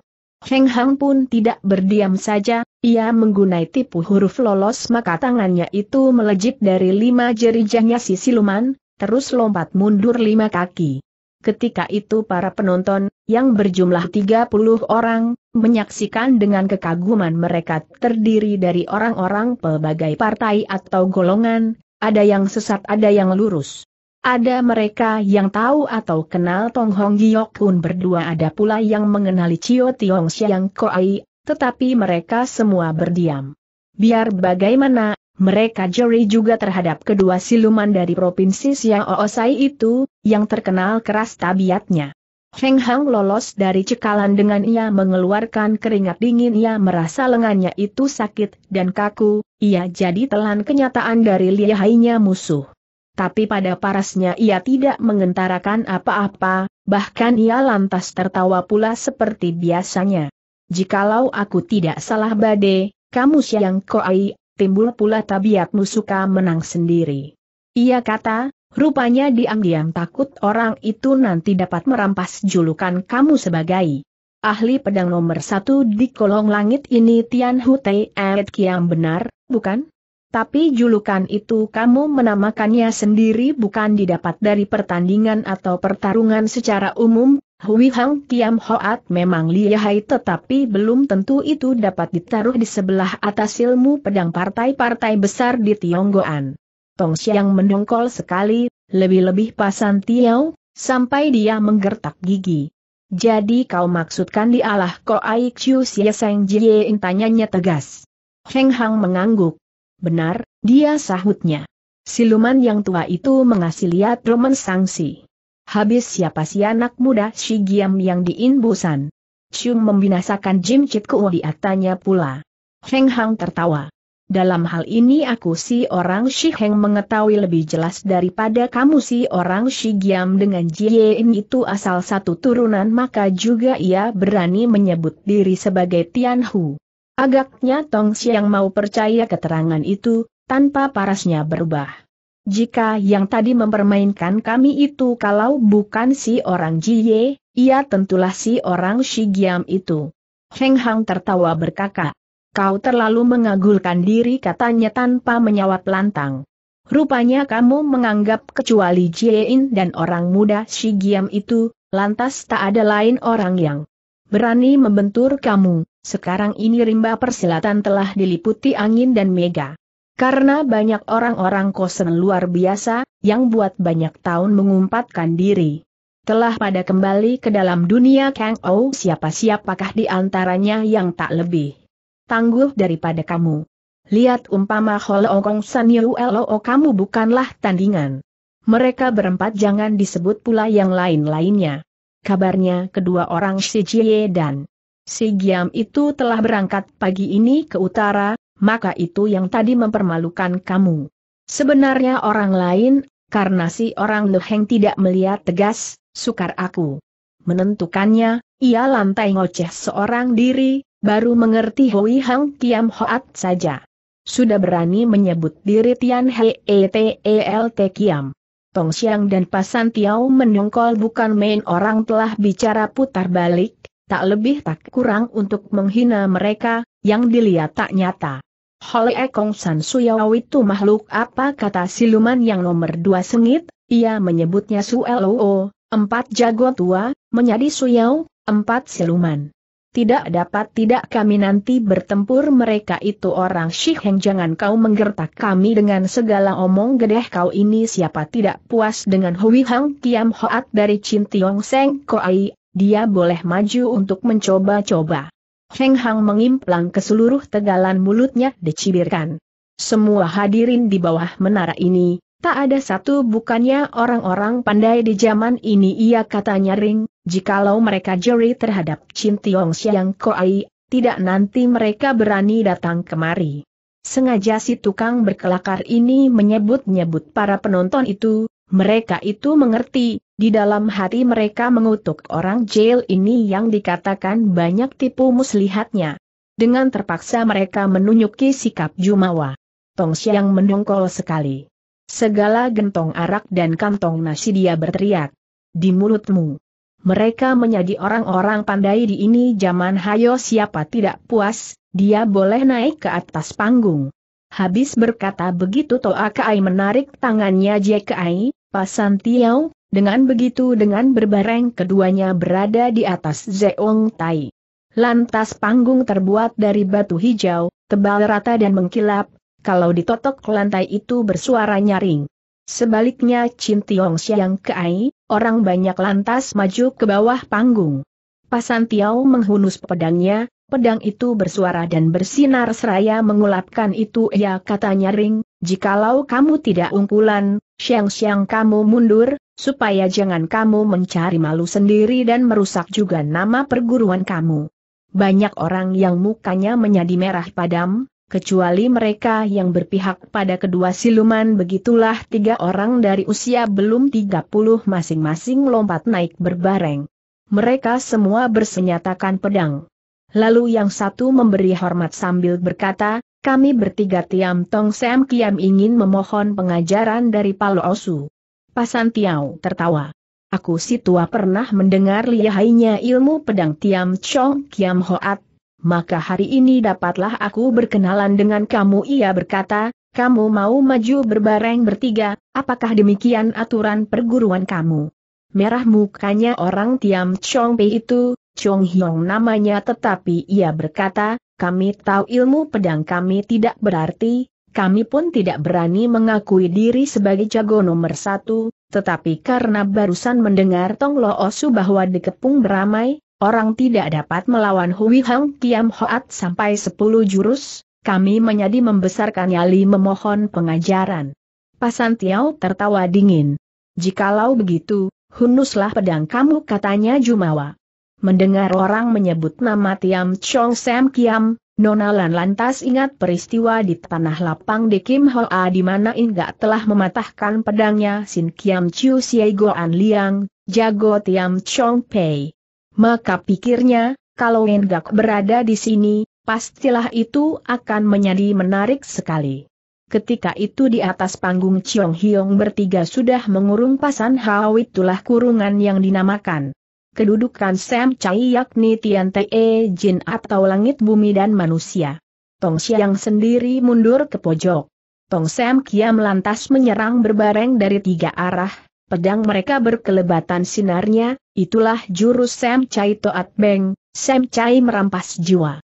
Tidak ada tempat untuk Pasan Tiao berkelit, pula sulit untuk ia menangkis berbareng, akan tetapi dia tabah, dia tidak kekurangan akal, tepat saatnya tubuhnya mencelat tinggi lewat di atasan ketiga gedang maka itu dengan hilangnya sasaran, ketiga pedang bentrok satu dengan lain. Di lain pihak, tidak menanti ia menginjak tanah, Jie Koai sudah menghunus pedangnya. Dengan apa ia membabat untuk membalas menyerang itulah jurus Hang Xiang Lonbu atau burung Hang menandak burung lain menarik sinar pedang itu berkilauan dan anginnya menderu. Semenjak kekalahannya Xie Goan Liang di tangan LN Gak, Tiam Chong Pei memperoleh kemajuan. Goan Liang kalah dan pulang untuk mengadu kepada gurunya, ia tidak mendapat match bahkan ia ditegur gurunya ia dikatakan telah bercampuran dengan kaum sesat. Meski begitu, sang guru menginsafi kemundurannya maka diam-diam dia lantas memperhatikan dan meyakinkannya pula sekarang Sam Chai Kiam dikirim turun gunung, untuk mendengar gerak-gerik rimba persilatan, kebetulan ada urusan Chin Tiong Siang Kai ini, mereka ingin mencoba Hui Hang Kiam Hoat. Tiga saudara itu kaget mendapatkan serangan-serangan mereka gagal, justru itu, mereka pun diserang. Sebenarnya mereka sudah lompat mundur masing-masing, tetapi pedangnya Pasan Tiao terlebih cepat, maka ujung pedang mereka kena dibikin sapat sepanjang sebutir beras. Tiga saudara itu menyedot hawa dingin, tetapi mereka tidak suka menyerah, ketika Chiong Ha Hiong berseru, berbareng mereka menyerang pula, masing-masing mengarah jalan darah Kio Cheng Hie Hie dan Chang Bun. Terbangun alisnya Jie Koai melihat serangan itu, dengan kaki kiri ia menggeser tubuh, berbareng ia menikam ke alisnya Chong Hiong, ia mengerahkan tenaga latihannya beberapa puluh tahun di lengan kanannya, ia menggunai tipu silat Pek Niao Tiao Hook atau seratus burung menghadap burung Hong, suatu jurus lain dari Hui Hang Kiam Hoat. Hebat perlawanan Pasan Tiao ini. Ketiga pedang lawan kena dibabat kutung, semua kutungannya terbang ke bawah menara, yang diserang Tiong Hiong bertiga ialah buntungan yang ada pada gagangnya. Maka itu, mereka merasa dada mereka sesak saking kaget dan malu. Beginilah kiranya ilmu pedang Tiam Chong Pei kata Pasan Tiao tertawa dingin, belum tiga jurus, sudah kalah sendirinya hari ini aku si orang tua tidak mau membuka larangan membunuh untuk sementara kamu diberi ampun. Chin Tiong Siang Keai tidak berkumis nampaknya usia mereka belum lebih dari 40 tahun tetapi Pasan Tiao menyebut dirinya si orang tua Loohu inilah sebab dia sebenarnya sudah berumur 60 lebih. Dengan mendongkol dan malu Chiong Hiong bertiga lompat turun dari panggung akan ngeloyor turun gunung. Pasan Tiao berdiri tegak dengan pedang di tangan romannya Jumawa, ia menantikan gerak-gerik orang banyak seng angin santer meniup, niup tubuhnya. Tengah orang semua berdiam itu, mendadak pedangnya Pasan Tiao berbunyi terus jatuh ke panggung. Dia kaget juga semua orang lain, tak terkecuali Aye Hang Sok Pasan Tiao melengah kakaknya berlompat maju matanya dibuka lebar. Tadi itu angin bersiur santer membawa pasir terbang, pedang kena tersampok dan jatuh semua tampak wajar, cuma Jeko Ai yang tahu sampokan itu keras, kalau tidak tak nanti pedangnya terlepas, ia merasakan telapakan tangannya sakit sampai tak bisa ia menyambar pedangnya itu. Siapakah si orang jail Pasan Tiao berpikir, ia menduga jelek cuma ia tak dapat melihat si jail itu, ia tahu, kalau orang tidak jail, orang akan berterang naik di panggung, ia heran sekali air mukanya pun berubah. Terpaksa ia membungkuk, menyemput pedangnya, setelah itu, ia jadi tenang pulang. Aye Hang Sok jail, ia tertawa dan berkata titik Ciantong Lao Koai kau lihat adikmu itu, jangan-jangan dia terkena angin jahat. Lihat, angin begini keras, hawanya begini dingin. Kau tahu, angin jahat dapat membuat orang mati di tengah jalan. Maka baiklah kamu lekas-lekas pulang ke sarang kamu di Gunung Kiaisan. Kamu telah berusia tinggi, inilah kamu mesti ketahui. Kematian kamu tidak lama lagi, jangan kamu tetap membawa adat suka menang sendiri. Apakah artinya kemenangan kosong demikian? Sudah lama kamu tidak muncul dalam dunia Kang Ou, Bukankah itu disebabkan kamu khawatir nanti ada orang curi kitab kamu Tai Kong Sosia yang kamu sayangi seperti separuh jiwa kamu? Kitab itu memang justru ada yang arah. Hahaha. Nyaring suara tertawa itu, sampai terdengar kumandangnya. Untuk sekejap, parasnya Chin Tiong Siang Koai menjadi pucat, tapi lekas juga mereka menjadi tenang kembali. Hektometer kata Toa Koai, Keras siapakah yang berani pergi ke Gunung Kiesan? Di sana, di lembah Ban Ciangkok, ada ancaman-ancaman kematian. Tong Xiang ngomong dari hal yang benar mengenai lembahnya itu. Gurunya Chin Tiong Xiang Koai Jalah Koai Elo Jin. Dialah seorang aneh yang lain orang, tak tahu asal-usulnya. Dia menerima Chin Tiong Xiang Koai sebagai muridnya dan mengajari sebagian dari kitabnya, kitab Tai Kong Soi Usia itu. Dia belum pernah mengembara, dia meninggal dunia setelah kedua muridnya lulus. Mereka ini lantas pesiar sambil membawa-bawa kitabnya, yang cuma sebagian. Belum tiga tahun, mereka berhasil mengalahkan banyak jago, dari itu nama mereka menjadi terkenal, mereka dimalui. Sementara itu, mereka pun mendapat sahabat-sahabat, dari kalangan sesat. Satu waktu, selagi sinting, Xiang Kuei menyebut nama guru mereka dan halnya kepandaian mereka berpokok pada kitab yang tinggal separuh itu. Lantas ada orang-orang yang niat mencuri kitab itu satu kali hampir kitab itu lenyap. Maka belakangan, menuruti nasihat satu sahabat, Xiang Kuei pulang ke gunungnya di mana mereka menyekap diri. Mereka lantas perkuat lembah Ban Ciangkok. Itulah kejadian 40 tahun dulu, Lalu 20 tahun kemudian, lembah itu meminta jiwanya beberapa orang yang mencoba masuk, untuk mencuri kitab. Siapa lancang masuk, dia terjebak, dia menjadi kurban. Perangkap itu diatur oleh Siang Koai sendiri, yang memperoleh ajaran dari kitab pusakanya itu. Mereka merasa syukur, sampai sebegitu jauh mereka berhasil melindungi kitab itu. Selama 40 tahun, Xiang Koai cuma menerima lima orang murid, bersama anak istri mereka serta hamba-hambanya, jumlah mereka tak lebih daripada 60 orang aturannya pun keras sekali. Cuma sebab pandangannya cupat yaitu mereka suka mengeloni pihak sendiri. Lantaran aturan keras itu, lima muridnya suka melakukan sesuatu secara mencuri, karenanya, Xiang Koai tidak tahu keburukannya murid-muridnya itu, sedang orang luar, yang tahu tabiat mereka, tidak ada yang berani datang mengadu. Kali ini Siang Koai turun gunung, cita-citanya ialah untuk merebut gelalaran Tian He Et Kiam. Aye Hang Sok tidak ketahui semua maksudnya Chin Tiong Siang Koai tetapi karena dia cerdas dan jenaka, dia dapat menyaili kedua siluman hingga hati mereka itu menjadi panas. Mendengar Tong Siang membanggai lembahnya, dia tertawa pula dan berkata, kau terlalu jumawa. Liptatlah, selama tempo satu tahun, aku si orang yang nanti mendatangi lembah kamu, untuk jalan-jalan. Barisan semacam kepunyaan kamu itu bisa bikin apa atas diriku. Yang dinamakan barisan itu jalatin atau perangkapnya Chin Tiong Siang Koai, nama barisan itu yaitu Tai Kong Tin Siye, atau Tin Kiang Tai Kong. Tong Siang tertawa.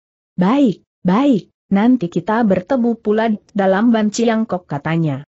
Barusan kau menyebut halnya Ko Ai Chiu Seng berangkat hari ini ke utara, adakah itu benar? Heng Hang mengangguk. Jikalau begitu, kami juga mau pergi ke utara kata Tong Chiang. Lantas dia mengawasi semua orang. Dia tertawa, dia kata pula, sekarang aku percaya sudah tidak ada orang yang berani mengatakan Hui Hang Kiam Hoat bukannya ilmu pedang paling luar biasa di kolong langit ini. Habis mengucap begitu, kedua siluman menyimpan pedang mereka, terus mereka lompat turun dari panggung.